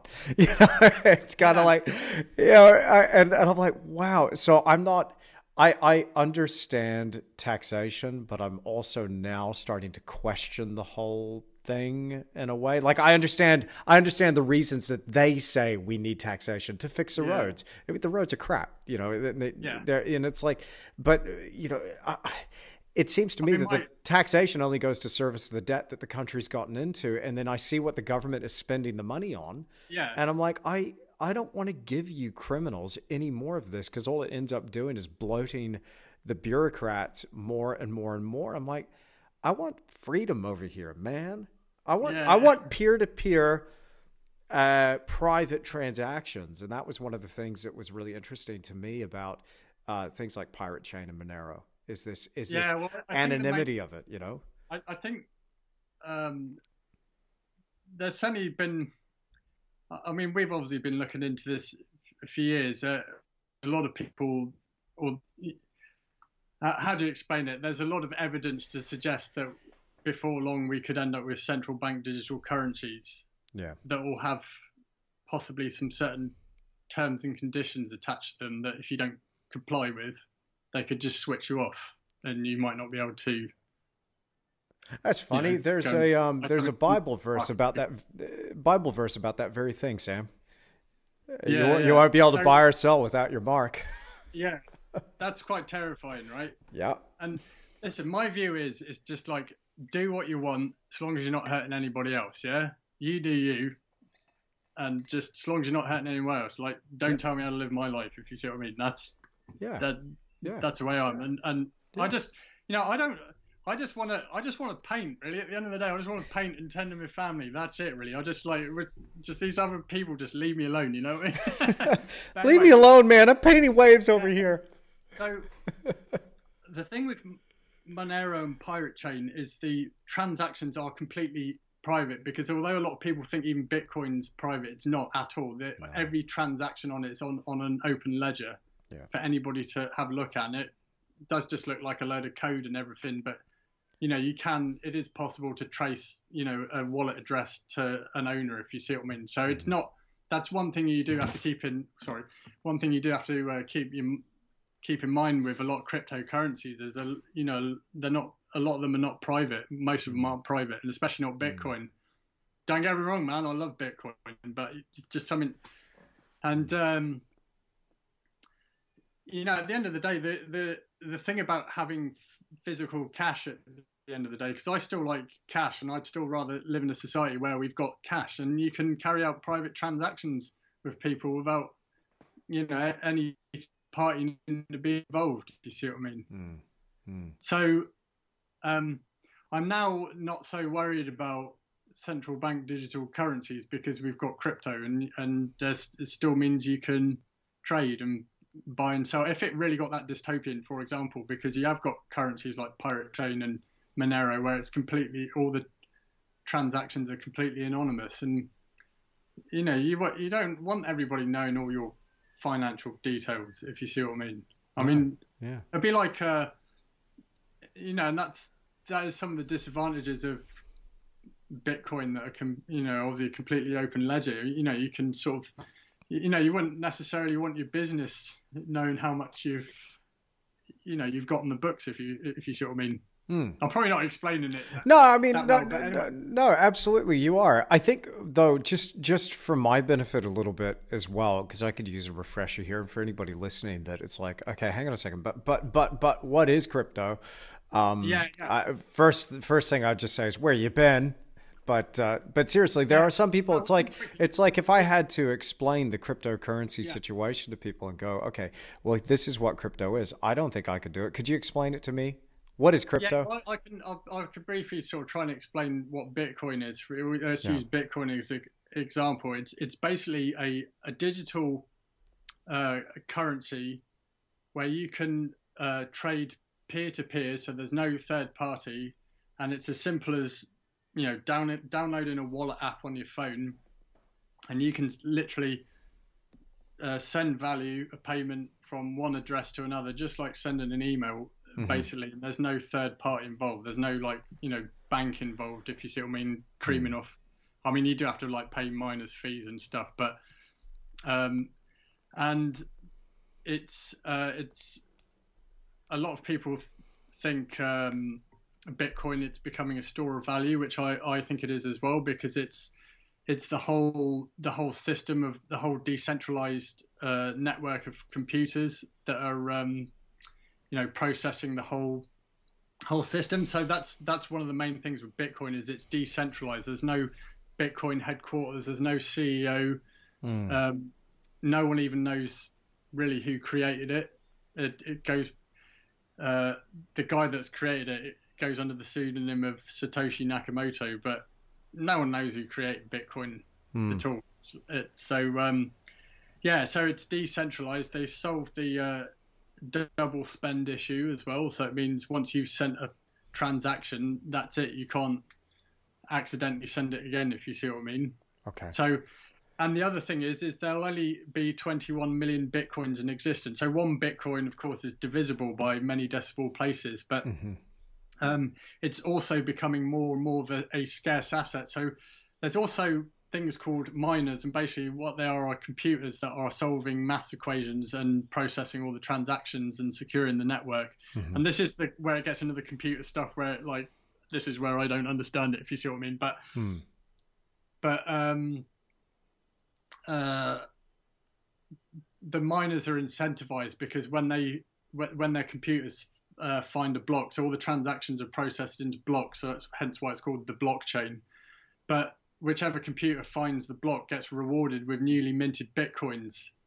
And in the first um, four years, so um, the first Bitcoin was created in, or Bitcoin was created in 2009. So the first block, which is called the Genesis block, that was that started in 2009. And with each block back then, the system awarded 50 new Bitcoins. Then after four years, it halved to 25 bitcoins. Then after four years again, uh, it halved to 12 and a half bitcoins. And then we had a there was a Bitcoin halving last year, and I think it's now 6.25 bitcoins for each block that's that's mined. So basically, every four years, um, it's becoming Bitcoin itself is becoming more and more of a scarce asset, which is part of the reason also why the price has gone up. But the more the more people that are buying it and using it, that also puts the price up. Plus, you know, people there's a lot of people uh, have lost bitcoins as well. Mm-hmm. Um, because I mean, this is the other thing as well with the with uh, cryptocurrency is that you've got to be responsible for your own money because if you lose it, for example, say you got Bitcoin, you got it stored in a wallet. If you lose it, it's your fault basically. Yeah. I mean, we've yeah. what there is now is there are, um, uh, you know, financial institutions now, you know, such as like Crypto.com, things like that, that are like cryptocurrency banks, and you can put your money there, and they're kind of take care, care of it, uh, take care of it for you. Mm-hmm. But there is a there is a thing um, in the crypto world where they say not not your keys, not your coins. So basically, the way it's you secure it is to have your private keys. So if anyone has ever downloaded a cryptocurrency wallet, and certainly we, you know we've obviously done it. If you see what I mean, mm-hmm. the wallet will give you a seed phrase, and it's like twelve words that you'd find in the yeah. dictionary, mm. and you write those words down, and it means if you'd ever lose your phone with your wallet on it or whatever, you could just download a new wallet and then type in those twelve words, and you get your coins back. So your um, your coins aren't your coins aren't on your wallet. Your wallet is just what accesses the coins. Yeah, is exactly. That... Storing a private key. Right, right. Yeah, um, yeah, Can I just sorry, just to back up for a second? So I'm starting to hear. So this is kind of again uh, uh, in my brain. It's it's a lot for me to process. So is the fact that there is scarcity built into this thing is that that's what makes it valuable? Then it's perceived value because its supply that, is limited. So it's supply and demand. Yeah, that, and and is yeah, this yeah. why that our, our, purchasing power now with the old system of fiat currency, uh, air money, helicopter money, whatever we call it, is is that why? Because I mean, again, they've just they've just put in six point two trillion dollars. I don't think people really realize how big a trillion is. Oh, it's massive. I, I think. I heard right, something. Oh, go on, go on. There was something about time. Was that what you yeah, were going to say? Yeah, yeah, yeah. If you were to count, if you were to count seconds, so say we each dollar was a second. If you counted mm-hmm. from one to a million dollars, it would take you 12 days to count from one to a million. So, and wow. I've heard a billion dollars would take 32 years to count uh, to a billion. So, a okay. trillion is something like, I think it's something like 32,000 years. so that's like the precession of the equinox or something like that. To give you an idea of how big a trillion dollars. It's it's friggin' huge, man. That's epic, bro. that is so epic. It's it's yeah. Oh. Anyway, I, I mean, just going back to crypto, I think it's exciting because I I personally think it can help artists and just creatives in general. And there's okay. a lot the the space is evolving really quickly, and there's you know there's loads more platforms now. Mm. You know, social media where you can, you know, post uh, your art. You, there's alternatives to YouTube like uh, ThreeSpeak and Odysee LBRY or whatever, where you can monetize your videos and you get paid in cryptocurrency. Mm. And um, you know, you've got things like uh, uh the the wallet app called HandCash, which supports a load of uh, that's powered by uh, Bitcoin SV, which is a that's a fork of Bitcoin. But hmm. um, you, you, know they have like alternatives to Twitter and Instagram and stuff, and you can earn crypto from posting. And I, I, there's just so many cool things with it, in my opinion. I just hmm. think it's a really exciting space. And then you've got the whole NFT things, which I'm, I'm, I'm in the uh, you know I'm in the process of researching that. I'm still like uh, I, t- tell me about that. Well, you know more than me, and I'm I'm watching everything go. The, do you know what? When when I when it, suddenly it becomes comes on my radar. Now I don't watch TV or or uh, no. movies anymore. I barely listen to music. I just think it's all so dark and corrupt, and I hate the industry that it's coming from. But I, I, I hate, hate to, hate to very strong. But but South Park has come up on my radar, and I saw a couple of YouTube clips of, from some South Park episodes where they were making fun of NFTs or or. so, yeah. And I thought, okay, the minute it makes it onto South Park is maybe the minute that it's it's reached this point. Um, so it's kind of like the zeitgeist at the at the you know it's it's very much the thing at the moment. What? Okay, okay. Start from the beginning, Sam. What is an NFT? What does that mean? What's this about? NFT. Okay. Um, so I don't know a great deal about. I do. I do have some NFTs that I've created, but I haven't actually like promoted them yet because I'm more just trying to figure it out.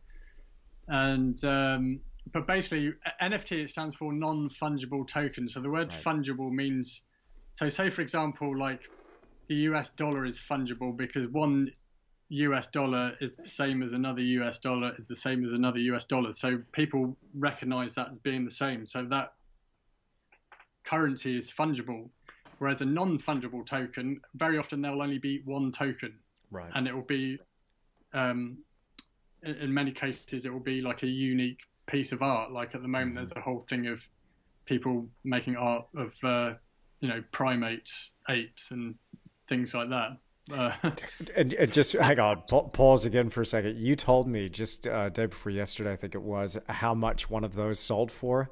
Just just to get this on people's radar, like an NFT. So what's there's I think there's uh, uh, it's it's on a it's on a website called OpenSea which sells NFTs and and there's one profile on there of uh, they sell a lot of NFTs but it's called Bored Ape Yacht Club I think and it's just basically pictures of apes and so I think some of these things have sold for like literally millions of dollars.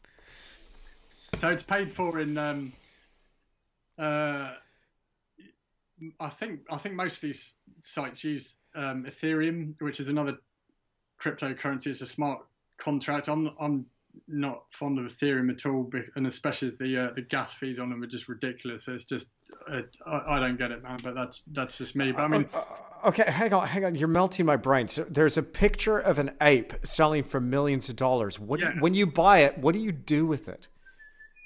what do you do with it? Like, what? You got an ape. It's like it's like, oh, check this out. I got a picture. How much that cost you? Five million. Get out of here, idiot! Like, what, what do you do with it? Are we gonna Are we gonna upset a load of NFT people? I don't. I don't care. I'm still researching because I'm, I'm, I'm, don't get me wrong, right? I'm not against NFTs at all. I'm sort of, I'm quite I'm quite fascinated with it, but you know, I'll be honest. I don't have any NFTs. I prefer cryptos that I can yeah. literally use right. as money. That's my thing. So, um, and I'm and I'm really into um, decentralized finance or I, DeFi. I, I, I get it, but but you've you've just put this but, out there into the space, all right? I know artists are using it. I don't. Yeah. I but I Sam, help me out here, bro. Like I. Well, I, am still I'm still stuck on I'm still stuck on on a on a yeah. uh, on an ape selling for for millions of dollars. Like how does yeah, that? Well, I guess it's because it's you know it's a scarcity and people think it's valuable, but it's a digital.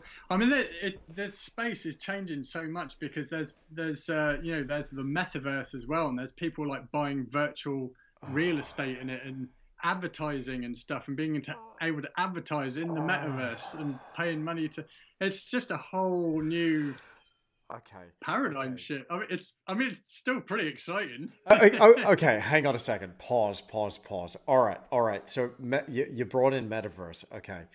Yeah. Um, I I will just put this out there that uh okay you you know you know when you realize you're you've reached a certain age um and and it's kind of like oh wow it's it's now real i'm now i'm now a, an adult. I'm now yeah. a functioning member of society. And or or like you have a moment where uh, to put it a better way you kind of understand your parents a little bit. I yeah. remember my parents you know my father in particular you know would walk into my room. I'd be doing something to my like uh, drawing or doing homework or whatever. I'd be listening to a bit of music and he'd go what is this crap you're listening to, right? Okay. And and I know it's probably a really bad analogy, but I I kind of I, I hear what people are listening to these days now and again. You know, you hear see something come up in an ad or or whatever, or this yeah. or that, and and uh, you'll you'll see it. You know, just being on the internet, you you you kind of get a sense of what's out there. I look at yeah. it going, the gener what are they growing up with? This isn't music, and now I suddenly go, yeah. whoa! I'm worried that this whole digital trend is going to be something like that, where it's either like you jump on board and you take part in this, or yeah. you know you get left behind. And and they were saying the same thing about the internet right? They yeah, said in the internet the internet was going to be a fad right? It's like oh this will blow over. This is not going to be any big deal. People said that was published in newspapers. And oh, and and so i think there was a particular uh, real estate that was you know the film and television industry the radio industry the all this there there was real estate there for them to defend aggressively. I get that, you know, but I'm looking at this like metaverse thing. This is becoming the whole rage, and I, and I, I got to tell you right now, man, I don't like it. And, and, I'm very suspicious of it. Anytime, yeah. and I'll say this: like the people that watch me or, know me and, and, follow me a little bit closely on on Patreon, for instance, they they know I'm a, I'm a little bit of a conspiracy theorist. Okay, I make a light of it, I make a joke. All, all I'm saying is it looks pretty flat to me. That's all I'm saying. But anyway, um, but but the minute you put an all seeing eye in your promo video, I start to worry, and I like plain as day. Mm-hmm. There's a there's an all seeing eye with snakes circling around it, and I'm like, oh, this new street artist is creating great new street art. Oh, it's animated. I'm looking at it, going, dude, that's a friggin' eye with snakes circling around. Is anybody else? Hello, is anybody else picking this up? They tell you what they're doing. You're going to take part of this. I, I, I, I think the day is coming very soon I'm praying for his return. I'll tell you that much right now. You know who I'm talking about. I'm talking about the boss himself. Yeah. I'm praying for his return. But the thing is, is that it, you're not going to be able to take part in society. You're not going to be able to buy or sell without your mark. I think that they're they're trying to wrap this up. The money side of things. This is why I'm a little bit skeptical about cryptocurrency. They're going to take the the money and the financial side of things. They're going to create this this digital ghetto, and they're going to say, right, this is you, and they're going to take your physical self and your digital self, and they're going to merge the two. In fact, Mister Doctor Evil said he was going to do that very thing. Dude, I, I'm looking yeah. at this stuff, and I'm going. At I mean, what point do I go? I'm out. I'm out. I'm out. Yeah, I, I but as an artist, I'm kind of going. I mean, how do I take advantage? Go on. Yeah, it's a real. It, I, I, think it's like I'm not really that excited about the metaverse either, but I'm, I'm not really into computer games to be honest either. Yeah. So because it a lot of it all into the gaming world, and you know what, I a lot a lot of all this technology because yeah, it, it, you know I don't fully trust crypto either. If you so, I love it, but I, I'm you know I'm still a little bit skeptical. You know, I'm aware that there's it's you know manipulated and all that kind of stuff. So I'm, I'm under no illusions if you see what I mean. But I, I, I like technology as well. I like the internet. I think the internet is brilliant. I think um, you know, despite the fact that loads of people moan about YouTube because of the censorship and stuff, there's there's still awesome content on YouTube. Like, oh sure, I've I've learned so much over the last few years because of yeah. YouTube. I still love YouTube, right? Yeah, yeah. And um, and I think like with anything, it's a tool. It can be used for good or it can be used for evil. I mean, it's like a knife. You know, you can use it for uh, you know cutting up some food or something, or you can use it to kill somebody. Do you know what I mean? It's don't go it's doing not that. bad in itself. It's just the yeah, yeah, yeah, Sorry? yeah, yeah, yeah. Anyone. Murder doesn't look too good on your CV, mate. Fair enough.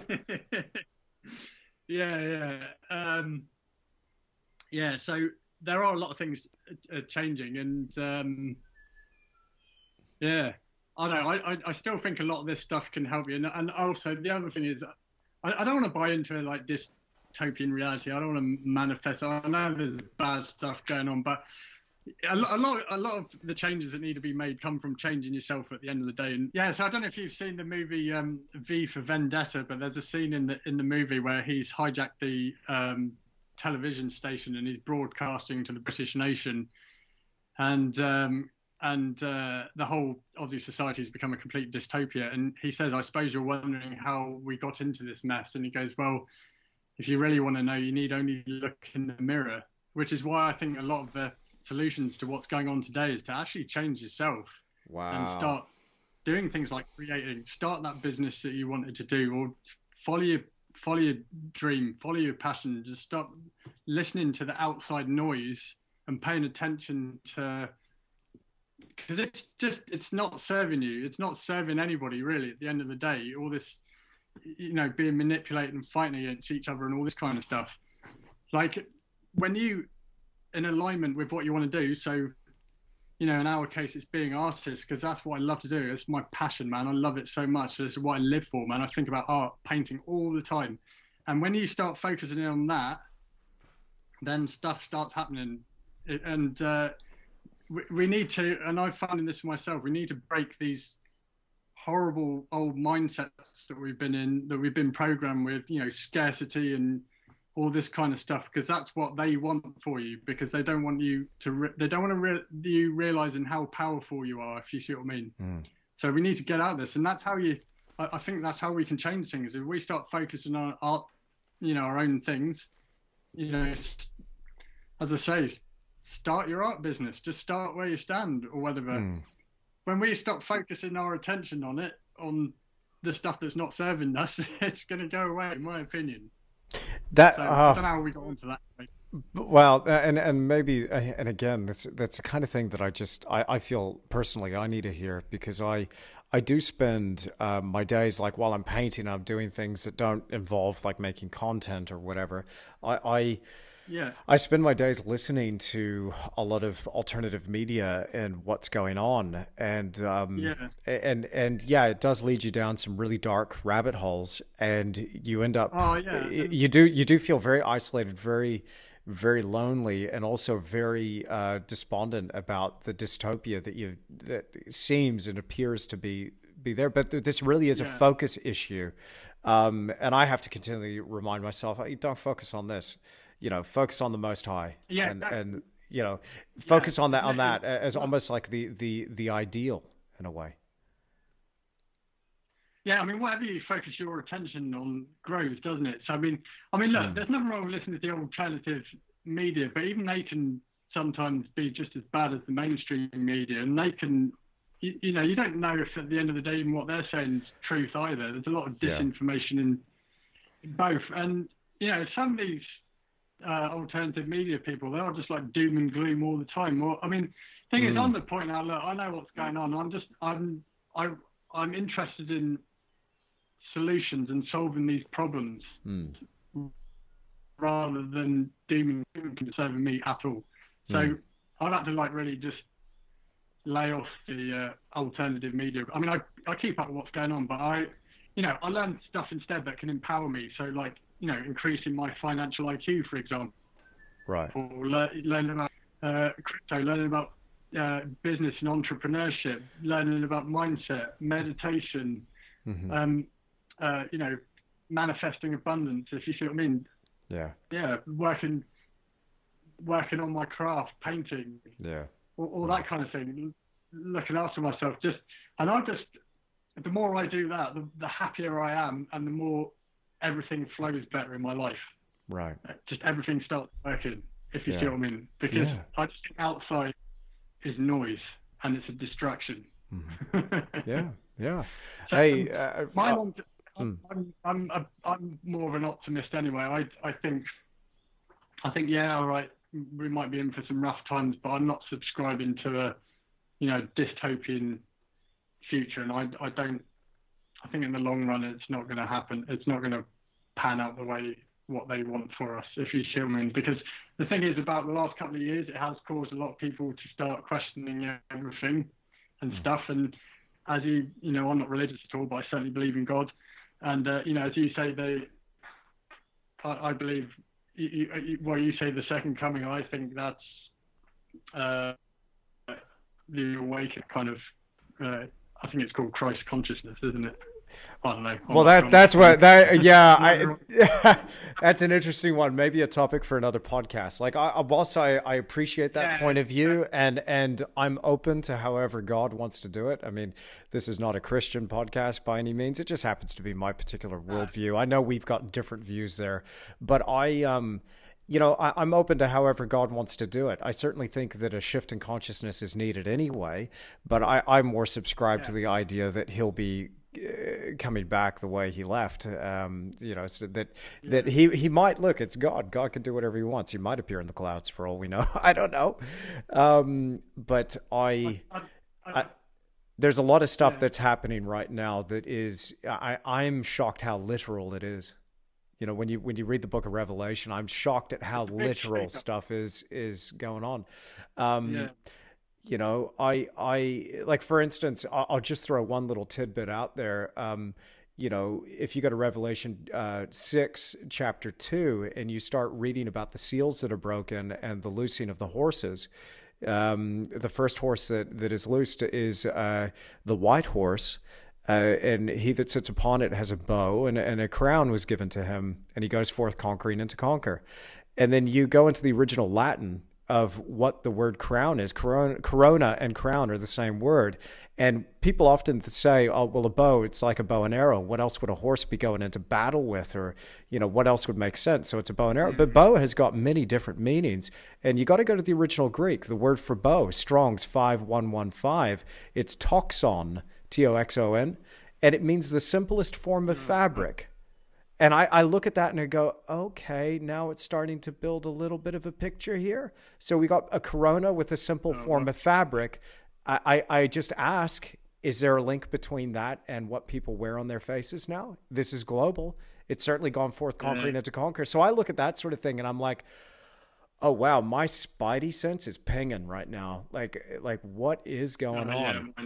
And now I definitely just got my ass deleted off every single platform on the internet for saying that. I don't know.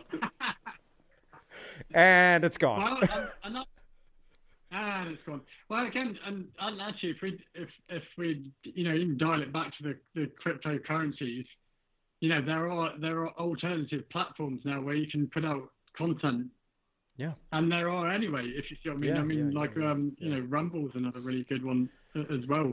And uh, you've, you've got to, I think you just got to, you know, prepare yourself as well and anticipate things that might happen, if you see what I mean. But yeah, uh, anticipate that change. Know, um, mm. There are opportunities out there, and I think especially for artists as well. Mm.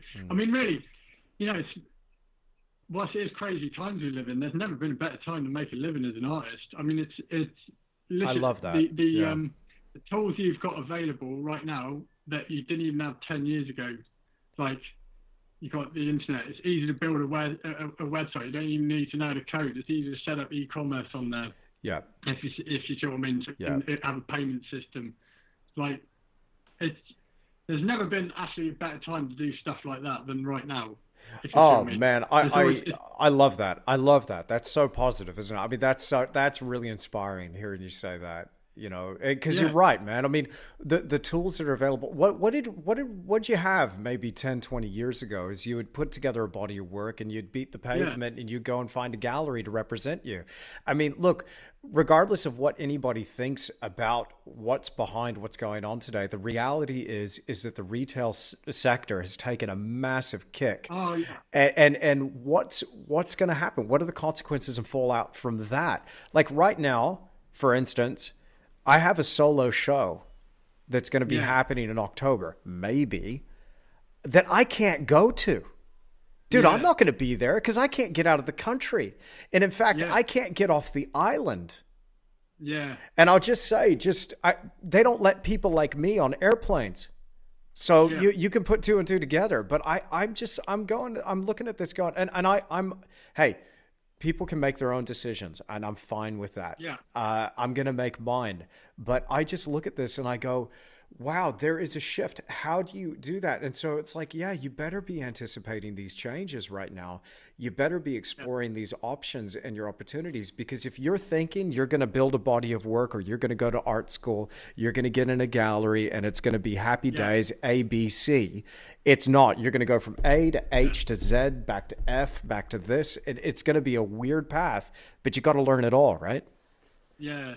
You, you need to, um, yeah, I mean, if you get, I guess if you're going to stay in that old old way of doing things, is because the world's changing. Uh, it's, yeah, it's always changing, and um, you know, it's like you said, you you prior to 2008 were just selling paintings, and that's how you're making a living, and then suddenly the well dried up, and you were like, "What do I do now?"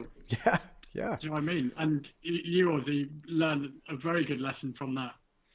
it was well, painful, you, but yeah, and and look where you are now, man. And this is an, this is another thing because, um, you know, this whole system teaches us this kind of victim victim mentality and learn yeah. helplessness and all this kind of stuff. Mm. When really some of these situations can be the best thing for you. You might not realize it at the time because it's horrible. Oh, 100%. Yeah, yeah. But I agree. It depends on your way of looking at it. Because in your case, for example, you were like, I, I still want to, like, you know, paint for a living. It would be a crime if you had to go and get a job, like, you know, like stacking shelves or not, not to, not to, uh, you know, disrespect that kind of work. But for someone, you know, who really wants to, you know, with your talent and wanting to paint and things like that, and you couldn't do it because. Mm. Uh, because of that situation you're in. I, I, don't know if that's a very good analogy. Well, no, no, it is. I mean, look, look, man. I mean, I had, I had to do that. I had to do the the job. Uh, it, yeah, yeah. Back in the beginning, um, you know, I was working at a, a milk distribution uh, depot. It was a giant fridge the size of, yeah. a, of, an aircraft hangar.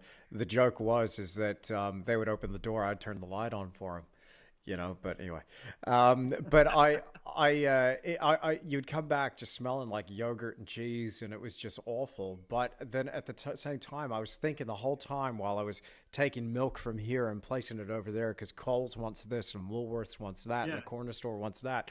I was thinking that. Um, you know, of paintings the entire time, thinking one day I'm yeah. going to be out of here and I wasn't particularly stuck for that long, but you know, there is also a time and place for hustling. There's a time and place to be yeah. learning. Um, now, you know, my my particular angle on this whole thing, and people have heard me say this before. It's it's uh, you, you want to diversify, you want to be aware, and try and anticipate change to the best of your opinion, it, it, uh, best of your ability. But but in my opinion, like it, it is it is hard to know exactly what's going to be happening. All yeah. I'm saying is it's going to change. I'm not saying I know that it's going to happen. I'm just saying something's coming.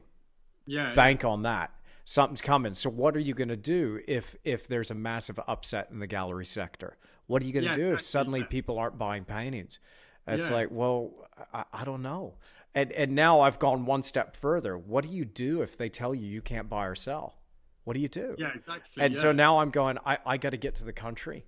I got to be able to fish, grow my own food. You know, yeah. I, I, I'm getting, I'm trying to build my life to a point now. I'll just tell you this and then I'll, I'll get off this one. Um, if you can't grow it or catch it, you can't eat it. If you can't make it, you can't have it. That's a yeah. weird position to be in. And just, and I'm not saying we're there. Maybe one day we will. Maybe one day we won't. I, I, mean, I get your particular point of view, and it's probably best. Uh, look, I'll take a leaf from your book. Let's not focus on the dystopian or the negative. But just in thinking of those terms, it's caused me to go. If I had to take 100% responsibility for myself and all of my needs, yeah. whoa, whoa, how do you, how do you do that? And then I, I yeah. realized that I'm woefully unprepared in that regard. And so what it caused me to do is start building new skills, which is really interesting. Yeah, the way it shapes you as a person. I find myself like literally uh, chopping wood, carrying water, and growing stuff and and it's yeah. it's an interesting I like it I prefer it as a lifestyle but if if if the crud does hit the fan then I guess you're somewhat prepared but I will just say and I'll get off this one that the I think the best place for me to prepare is just spiritually you know get as yeah. close to the most high as I possibly can again I'm just going to say that's my individual feeling about it, people can do what they're going to Yeah. do. That's fine. Um, that's just how I get, feel about get, it. Get your mind in a good place. Yeah, Try man. not to focus on the noise outside and Yeah. start focusing on on uh, what you want to do, being in alignment with what you're passionate about, and get Amen, working brother. and creative and get creating. You know, start your art business, start your YouTube channel, whatever. Do you know what I mean? Just Yeah. that's what. And and one other thing as well, gratitude. Be thankful for everything you got. That that's something I'm learning a lot more recently. Is being thankful. Amen, dude. Yeah, absolutely. Yeah, gratitude goes a long way. Hmm. Because a lot of the time, you know, things aren't as bad as they seem. Worst things happen at sea, you know. I, I, I love I see I love this about our conversations, man. It's it, it it's it's always it's always a positive. Like I don't I don't think you understand that effect you, you have on me. It really and and I uh, yeah it it does keep me going. Um, look before the call completely breaks apart here because I'm noticing a dip in the quality here with the internet. I, I'm rural. You're reasonably rural as well, where Yeah. where you are. Uh, we don't have a fiber optic connection here, um, but uh, the the I, I I would like to propose a bit of a, a study or a a challenge here, Sam, between us if we can. And let's let's let's uh, come back together here and then talk about it at a later date. But this NFT, this non fungible token. Okay, I, I realize. So so you're you're kind of looking into that. I'm going to start Yeah, looking yeah. into this for a laugh. Why don't we create some NFTs and come back Yeah. and talk about this at a later date? I Yeah, can't yeah, believe I'm that- doing this. yeah, it won't be. Listen, it won't be a monkey on a yacht. It won't be. It'll be No, something. no, no. no, there'll be there'll be images of my there'll be images of uh, my paintings, and um, I won't be I won't be selling them for millions of dollars either. It'll be just like Yeah, I mean that's a, that's I will. that's one of the things with NFTs. You could, I you could use them to like tip a creator, for example, and you you just sell them for a small amount of money, buy an NFT off your, uh, you know, off a creator like that you like. You know, could be an artist, could be you know someone that's providing content on YouTube, online, or whatever that you think's valuable, and just help them out. And you know, with with any creators in general, especially ones online. I mean, not necessarily just in the art world, but just anything. You know, if if you like, if you like what they do, if you see what I mean, and you want to support them, just you know, even uh, like either buy something off them if they're they're selling something, or uh, you know, give them a tip, or perhaps if they're selling an NFT or something, you know, buy an NFT off them, or Mm-hmm. do you know what I mean? Just even just just a small like a, amount of money, if you see what I mean, often will mean the world to a a content creator that's trying to make a living creating content. If you see Yeah. what I mean. Yeah. So I'd say this about you know not you you know not just like us if you see what I mean. I'm, I mean a, any kind of content that you watch online. If you like that content creator, then um, yeah, help them out. Buy them a coffee. Allow them to carry on making the content that you like. yeah, absolutely, absolutely. Yeah, and I will so- say, you know, that that it's it's. I, I certainly appreciate it. I mean, I, I I I love the people dearly that, that are supporting this. I mean, and Yeah, even abs- even people that can't uh, necessarily feel they, they can't afford to to support it, but just just watch the videos and give it a like or subscribe to the channel. Yeah, I mean, it all like, helps. it. Yeah, even Yeah, sharing abso- it. Yeah, all help. I mean, like, you know, if Hmm. I could, I, I would give all all my content away for free. But you know, at the end of the day, you know, we've all got to make a living as well, and I see absolutely nothing wrong. Yeah, Because that's another thing, especially in the art world, we get really funny about or awkward about selling your art or yeah, selling a product that you've created, and you know, as if it's almost bad to like make money. And there's nothing wrong with it at all. If you see what I mean, if you're Yeah. providing providing value, Hmm. then um, yeah. So I, as I say, I try and give away a lot of free content Mm-hmm. as well, but um, you know, I obviously sell videos and things like that, and certainly you know with video editing, they take a very long time to make. Oh, plus, goodness. you know, painting them and stuff, and yeah. so, but Mm. you know, something like that. I, I mean, I, I for example, I try and keep my videos as cheap as possible. I mean, you know, the most of the ones I got about an hour long, you know, fifteen dollars. I mean, that's a way. to say for me, for example, you could support me and you get some something in return. You get a video out of it, if you see what I mean. Yeah. yeah. So it's like it's better than even donations, if you see what I mean. Yeah, absolutely. but I mean, yeah, not just people like me. I mean, any any kind of content creator that's creating something that you like. That's so the NFT things, even um, you know, another way that you could support, you know, a particular content creator because I I do I have already got some NFTs for sale for not very much at all, and I I'm because I'm still experimenting with it and uh, I've only just started doing this, so we, we we can work on this together as well. Awesome, man. Um, awesome. Um, because I'm I'm actually going to be uploading, I'm actually going to be uploading them to a couple of different sites. So I've I've already got some on OpenSea, and um, I've just been approved by Crypto.com to upload NFTs on there. That's on a completely different blockchain. Awesome. Uh, I really like uh, Crypto.com anyway. I, I think they're doing some really great things. Awesome. And uh, anyway, I'm not. By the way, I'm not. I'm not endorsed by them or or uh, like. Uh, yeah, no, no, for sure, for sure. And uh, yeah, oh, what else do we need to say? None of this is financial advice. uh, don't worry, man. I've, I'll, I'll, yeah, yeah. I, I, I've said something yeah. like that up the up well, the front think, of the episode. Think, People know. People know. At, I think we should look into the whole NFT thing as well because um, I, I, I think some of them are pretty cool. I mean, I'm a little bit baffled how some of them are literally selling for millions of dollars and it's just a picture of an ape. but hey, there you go, man. Oh, more power to them. So, Sam, 2022, new year, new creative start, new direction. Uh, I'm gonna I, am gonna take a lead from your book here, brother. You, have inspired me. Um, I'm going to focus on purpose. I'm going to get off the the those those conspiracy theory channels. Okay. Yeah. Okay. Okay. I'm going to focus. Let's get, let, let, get off the fear train, man, because Fear is not doing anybody any good anywhere. You're so right, man. You're so right. Is, fear is really the that's the only main card that they've got. This whole whatever you want to call it. Fair enough. And that's yeah. And it it's not good for you whatsoever. It puts you in this horrible low vibrational right. state.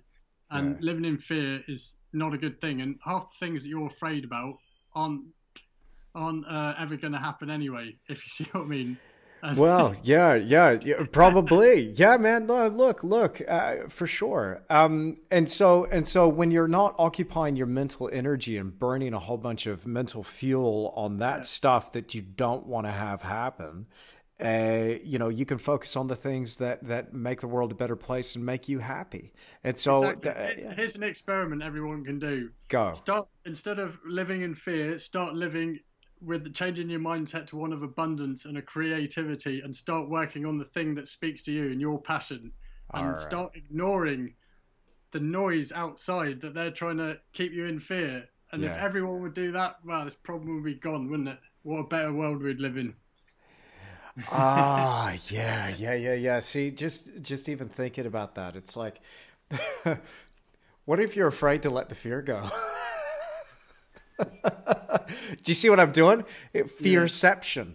Well, when see, I, have I've, you know, I watch a lot of channels on YouTube as well. Yeah, I, I, watch, yeah. you know, mindset and abundance, you okay. know, channels and that kind of thing. Like, mm. uh, hmm. you know, I, particularly at the moment, uh, been watching um, a channel by a guy called Ralph Smart, uh, who I found that guy last year. Oh no, was it in 2020? I mean, he mm-hmm. got me straight away out of the slump that I was in. I'm just like, yeah, man. I'm just like, I need to stop being okay. a little bitch and. So it worked for work. you. Uh, the route that that worked for you. Okay, you know, good, yeah, good, yeah, man. No, yeah. yeah, you know, another good one. Uh, another guy called Jake Ducey. Um, okay. Check these channels out on YouTube because they're just these guys are there to help you, man, and um, mm. they've done mm. it as well. Mm. You know what I mean? And, and uh, it just it, it, will just make your whole world look completely different, hmm. in my opinion. you know, I, I again, um, I, I yeah, I, I am all for it. Whatever whatever you feel kind of fits that that view that you have of of yeah. the the way the world works and and and also just kind of shifting your focus from from that thing that you're you know you're worried about or you're afraid of onto something that's positive i mean because uh, despite whatever was going on over 2020 and 2021 and i'll tell you like, like I, I, took a break from the podcast and, and a lot of things in my life um, because i just I, I was looking at the way the world was going and i was i suddenly just had to cut things off yeah. and make make and make a decision. But then I was like, and then I started thinking like, do I do I want to even bring this back? What am I going to talk about? And and that's why it's perfect that you're here today and we're talking about this and we could start 2022. Okay, yeah, got off to a little bit of a late start here, but but we could start 2022 really focusing on that creativity, really focusing on our passion yeah. for art and taking advantage, Sam. Sam, taking advantage of some of these opportunities. Yeah. As weird as they sound, it's there and if yeah. there's a way we can use it to help our art business, let's do it. So, Sam, 2022, 100%. let's jump into NFTs. Let's have a look. Let's come back together again. Yeah, yeah. And talk about what we've learned in this process. Uh, but, man, I've had a blast today. Thank you so yeah, much no, for talking to me on this. I hope. Um, no, at the end of the day, I mean, um, yeah, you know, this is just my view of the world, and and uh, you know, obviously, I don't want to offend anybody, you know, just by some of the stuff we talked about. I hope we haven't offended anybody. If you it wasn't our um, intention. Um, Let's put it that way. Our intention's no, all love. I, you know, yeah, exactly. Yeah, yeah, exactly. Uh, you know, I, I, I, I want to help people. I like. I want to see people do well. If you see what I mean, it's in our interest, like mm-hmm. for us to do well. do you know what I mean? It's. Yeah. yeah. Yeah, yeah. It, it, this and again, I mean that scarcity mindset. It's like, oh no, it's overpopulated, it's oversaturated.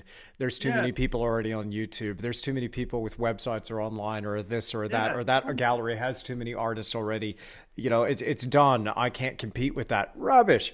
Look, start where you stand. There's room for everybody. something to say. You've, everyone's art. You know, if we, yeah. if we just use art as an example, everyone's unique and different. Hmm.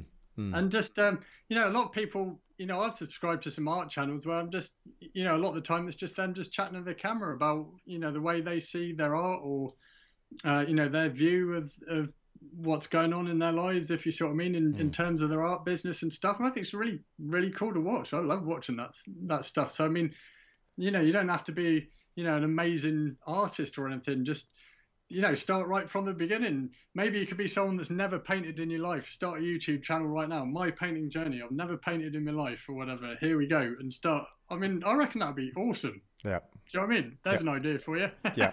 Yeah. There you go. There you go. Hopefully, this is uh, yeah inspired some people to uh, yeah. to take the leap with 2022, us. 2022, the year that we uh, that we um, that we work on ourselves. We work on our we work on things that inspire us, if you see what I mean, and we get creating. yeah, yeah, I love that. I love that, yeah. Sam. Uh, what's one thing that you would you would love to uh, to leave the people with that are that are listening to this now and uh, watching? Look, just as I say, uh, yeah, focus on yourself, get your mind right, express gratitude be thankful for where you are, and uh, yeah, work on you know work on what speaks to you. Work on your creativity. What, set yourself some goals if you see what I mean. Yeah, just the other thing is is just just stop paying attention to the to the noise because it's a distraction and it's not there to serve you. If you see what I mean, ask yourself: Is it helping me? Is this is this serving me? And if it's not, then just don't pay attention to it. Focus on what speaks to you, if you see what I mean. Hmm. And uh, yeah, you know, gratitude, abundance, happiness. I love it. All these things, man. I love it. Sam, thank you so much for joining me on this episode of The Creative Endeavor. No, it's, it's awesome. We should, uh, we should definitely have to do this again soon, I reckon. Would love to. Well, I really hope that you've enjoyed this episode of the Creative Endeavor podcast. It is so good to be back with another episode. And a huge thank you and a shout out to my friend Samuel for joining me. Thank you so much.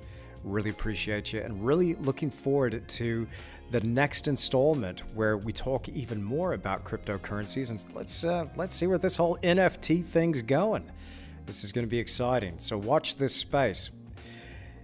Now, if you want to follow Samuel and see his work, then make sure you follow him online. You can find him by searching on YouTube for Samuel Earp.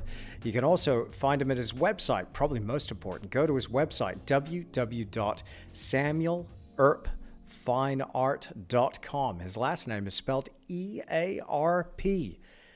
Now, make sure you go there, check out his fantastic paintings. He's also on Instagram and Facebook, and make sure you go and follow him. If you enjoyed this conversation, you want to check out what he's doing, go and follow him and support him on Patreon. Would you do that? Now, look, you're going to find all these links to what I'm mentioning in those uh, show notes or the description that goes with this podcast. So make sure you click that little description there when you're scrolling either on your phone or on your computer. Have a look and uh, click on those links and go and follow my friend Samuel Earp. And uh, again, it's just such a pleasure to share this conversation with you. Bit of a different conversation here. You might have heard some things here that uh, you weren't used to, or maybe you, you didn't know we were thinking a particular way, but that's all good. Look, we all have got our own unique approaches to things, and I'm still personally trying to figure this whole thing out. What the heck is going on in this world? And again, I think Sam's right. We got to focus on our purpose and focus on the positive and focus on our creative growth and our journey here and stop focusing on that negative stuff. You know, I, I have the tendency to look down those dark rabbit holes, going places I shouldn't be going, watching too many conspiracy theory videos. You know, I need to get off that stuff and focus on the things that I can control and focus on my creative mission. And that's what 2022 is going to be all about. So I really hope you'll join me and Sam in this journey and make 2022 the year that we just launch our creative journey. If you're just starting for the first time, you launch, you start that business. If you're wanting to expand and diversify, you look into some of these alternative things that are going on, like crypto, like NFTs, like maybe expanding into video content, expanding on social media, whatever you're doing now, just how can you 10x that? And over these conversations, I hope to be able to share more artists that are doing just that and more strategies that will help you with your creative growth, but also just give you something to focus on that uh, is constructive while you're painting in your studio or sculpting. You might be in sculpture. That's totally cool. Just no abstract, right? Okay, cool. Now, I'm looking forward to hanging out with you again very, very soon and bringing another episode to you. It is so good to be back. I've got a few episodes here lined up. So, for the next little while, I hope to make it weekly if I can. But uh, if you want to check out and catch up with some stuff that's happening here in my world in the studio and uh, have a look at some other things that can push your art even further, then make sure you follow me on Patreon. Of course, you'll see the video version of this podcast up on my Patreon page. And again, you're going to get exclusive Q&A videos, critique videos, uh, some time-lapse videos, some things that you're not going to find anywhere else, all on my Patreon page for just five bucks a month. More content than you would even want to watch hours of the stuff, right? I'm putting that much content out every month. And there's only one place you can get it, and that's my Patreon page. Go to Patreon, search my name, Andrew Tischler. I'm to get out of here. I've got some stuff to paint. It has been so awesome hanging out with you here, and I look forward to being with you again very soon in another episode of The Creative Endeavor. So long.